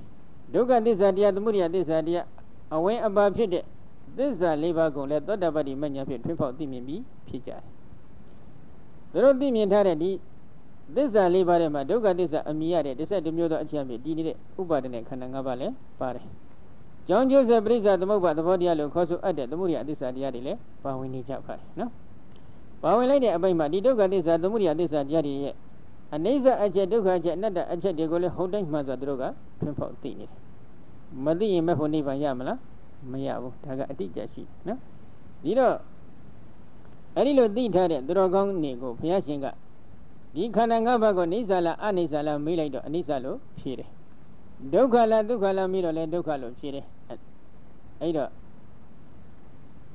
အနိစ္စလည်းမှန်တယ်ဒုက္ခလည်းမှန်တယ်ဖောက်ပြန်ပြည့်စည်တတ်တဲ့ဝိပရိနာမဓမ္မလည်းမှန်နေတဲ့ဒီခန္ဓာ၅ပါးကိုအတ္တလို့ရှုတင်သလားလို့မေးငါပဲငါဟာပဲငါရဲ့အတ္တပဲလို့ရှုတင်သလားမေးတော့လည်းမရှုတင်ကြောင်းပြန်ပြီးတော့အဖြေပေးကြတယ်အဲ့ဒီလိုအမေးဖြေပြုလုပ်နေတဲ့ဆရာသမားတွေဆရာနဲ့တပည့်တွေရှိကြတယ်ထိုပုဂ္ဂိုလ်တွေဒီခန္ဓာ၅ပါးကိုသိလို့ဖြေသလားမသိဘဲနဲ့ရမ်းဖြီးနေတာလားလို့မေးရင်ဘယ်လိုဖြေမလဲသိနေတယ်နော်ဒီခန္ဓာ၅ပါးတို့ရဲ့အနိစ္စချက်ဒုက္ခချက်အနတ္တအချက်တွေကိုလည်းသိသလားမသိဘူးလားမေးရင် သိနေတယ်ဘာဖြစ်လို့လဲဒီဒေသနာတော့အဆုံးမှသူတို့အရတ္တဖို့တီးမဲ့သူတော်ကောင်းတွေဖြစ်နေပြီဉာဏ်တွေကရင့်ကျက်နေပြီတိတ်ခိန်တရိယထက်မြက်တဲ့ဣန္ဒြေတွေကရှိလာပြီဒီအချိန်ခါမှာဒီထက်မြက်တဲ့ဣန္ဒြေရှိတာကိုအခြေခံပြီးတော့ဘုရားကဟောနေတာဟောနေလိုက်တဲ့အခါကျတော့မိမိလည်းမိမိတို့လည်းဒီပိစဝကိငါးဟုတို့လိုပဲအရတ္တဖို့ပေါ့လိုလားတောင့်တခဲ့တယ်ဆိုရင်သူတို့သွားတဲ့လမ်းကြောင်းအတိတ်နောက်ကနေရှောက်ပြီးလိုက်ဖို့မလိုဘူးလားလိုအပ်နေတယ် အဲ့ဒီအခါမှာအမေးဖြေပြုလုပ်ပြီးတော့နော်ဘုရားရှင်ကဝိပဿနာရှုခက်ကိုယုံလုံးဖော်ပေးတယ်တသမတိဟာဘေခဝေယကိစီရူပံအတိဒါနာကတပိစုပန္နဣဇဒဝဗိဒဝဩလာရိကဝဒုက္ခမဝဟိနဝဗဏိတဝယန္တုရေတန္တိကေဝသဗ္ဗံရူပနိတမမနိသောဟမတမိနမေသောအတ္တတိဧဝမေတယတဗုဒ္ဓံသမ္မပညာယတတ္တဗံခိခဝေจิตယံတို့တတ္တမတို့ကြောင့်ဤဤတန္တရာတော်များအတွဲ့၌ ဒုမေသင်္ချေတတို့သည်အတိဒါနာကတပိစုပန်နှင့်အတိနာကပိစုပန်ဖြစ်သောယံကိစီရူပံအလုံးစုံသောယုတ်တရားသည်၎င်းဣဇဒဝါဣဇဒမူလီဖြစ်သောဗိဒဝါဗိဒမူလီဖြစ်သောယံကိစီရူပံအလုံးစုံသောယုတ်တရားသည်၎င်းဤနာဝါယုတ်ညာတိမူလီဖြစ်သောပဏိတဝါမောမြတ်တိမူလီဖြစ်သောယံကိစီရူပံအလုံးစုံသောယုတ်တရားသည်၎င်း ဩလာရိကံဝါယုံဤဉာဏ်တိမူလီဖြစ်သောဒုက္ခမဝတိမေနုညံတိမူလီဖြစ်သောယံကိစီရူပံအလုံးစုံသောယုတ်တရားသည်၎င်းဤနာဝယုံညာတိမူလီဖြစ်သောပဏိတဝမောမြတ်တိမူလီဖြစ်သောယံကိစီရူပံအလုံးစုံသောယုတ်တရားသည်၎င်းဒုရေဝဝေဒီမူလီဖြစ်သောတန်တိကေဝနိတိမူလီဖြစ်သောယံကိစီရူပံအလုံးစုံသောယုတ်တရားသည်၎င်းအတ္တိရှိခြင်းဤဣတံတပံဤအလုံးစုံသောယုတ်တရားကိုဣတံဤယုတ်တရားဒီကနမမငါရဲ့ယုတ်တရားမဟုတ် ဧသောဤယုတ်တရားဒီကနဟမတမိငါမဟုတ်ဧသောဤယုတ်တရားဒီကနမေအတ္တငါရဲ့အတ္တမဟုတ်ဣတိဤသို့လျင်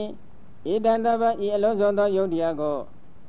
မမပညာယထာဗုဒ္ဓမဖို့မပြန်ဟုတ်တိုင်းမှန်စွာသမ္မာပညာယယုတ်တုံယုတ်ခဲနန္တုံနံခဲဖြိုခွဲဖောက်ထွင်းဝိပဿနာညာအလင်းတဖြင့်တတပံရှုပွားသုံးသအပ်ပေ၏ဒီလိုဝိပဿနာရှုွက်ညွှန်ပြပေးလိုက်တယ် အတိတ်နာကပိဿဗံဣဇဒဗိဒဩလာရိကဒုက္ခမဟိနပဏိဒဒုရတန္တိကခေါ်တဲ့တစ်ဆက်တစ်မျိုးသောအချက်ဖြင့်ဒီတဲ့ဒီယုတ်တရားအလုံးကိုငါဟာမဟုတ်ငါမဟုတ်ငါရဲ့အတ္တမဟုတ်လို့ရှုပါဟိုသန္နဝါဒသုတ်တံအထက်ကရာအယဆိုရင်တော့အနိစ္စလို့ရှုပါဒုက္ခလို့ရှုပါအနတ္တလို့ရှုပါဆိုတာ ਨੇ အတူတူပဲယုတ်တရားမှာညွှန်ကြားတယ်လို့ဝိရဏသင်္ညာသင်္ခါရဝိညာဉ်တွေကိုလည်းဆက်လက်ပြီးညွှန်ကြားပြီးတော့မူပါတယ်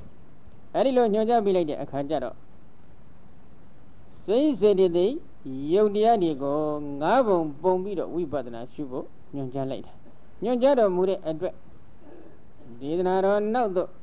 ဉာဏ်ကိုစေလွတ်ပြီးရှုပွားသုံးသပ်တော်မှုနိုင်ကြတဲ့အတွက်ဒေသနာတော်ဤကိုပြီးဆုံးလာတော့အခါပြင်းစဝက်ကြီးငါ့ဟုတော့အရတ္တဖို့တီးမသွားဘူးလားတီးသွားတယ်ဒီတရားတွေဟာအိန္ဒြေတင့်မြတ်တဲ့တရားဖြစ်တယ်အိန္ဒြေတင့်မြတ်တဲ့တရားတွေကိုငါဖျားကဘယ်ဒေသနာတော်ဖြစ်ချေချွတ်ရမယ်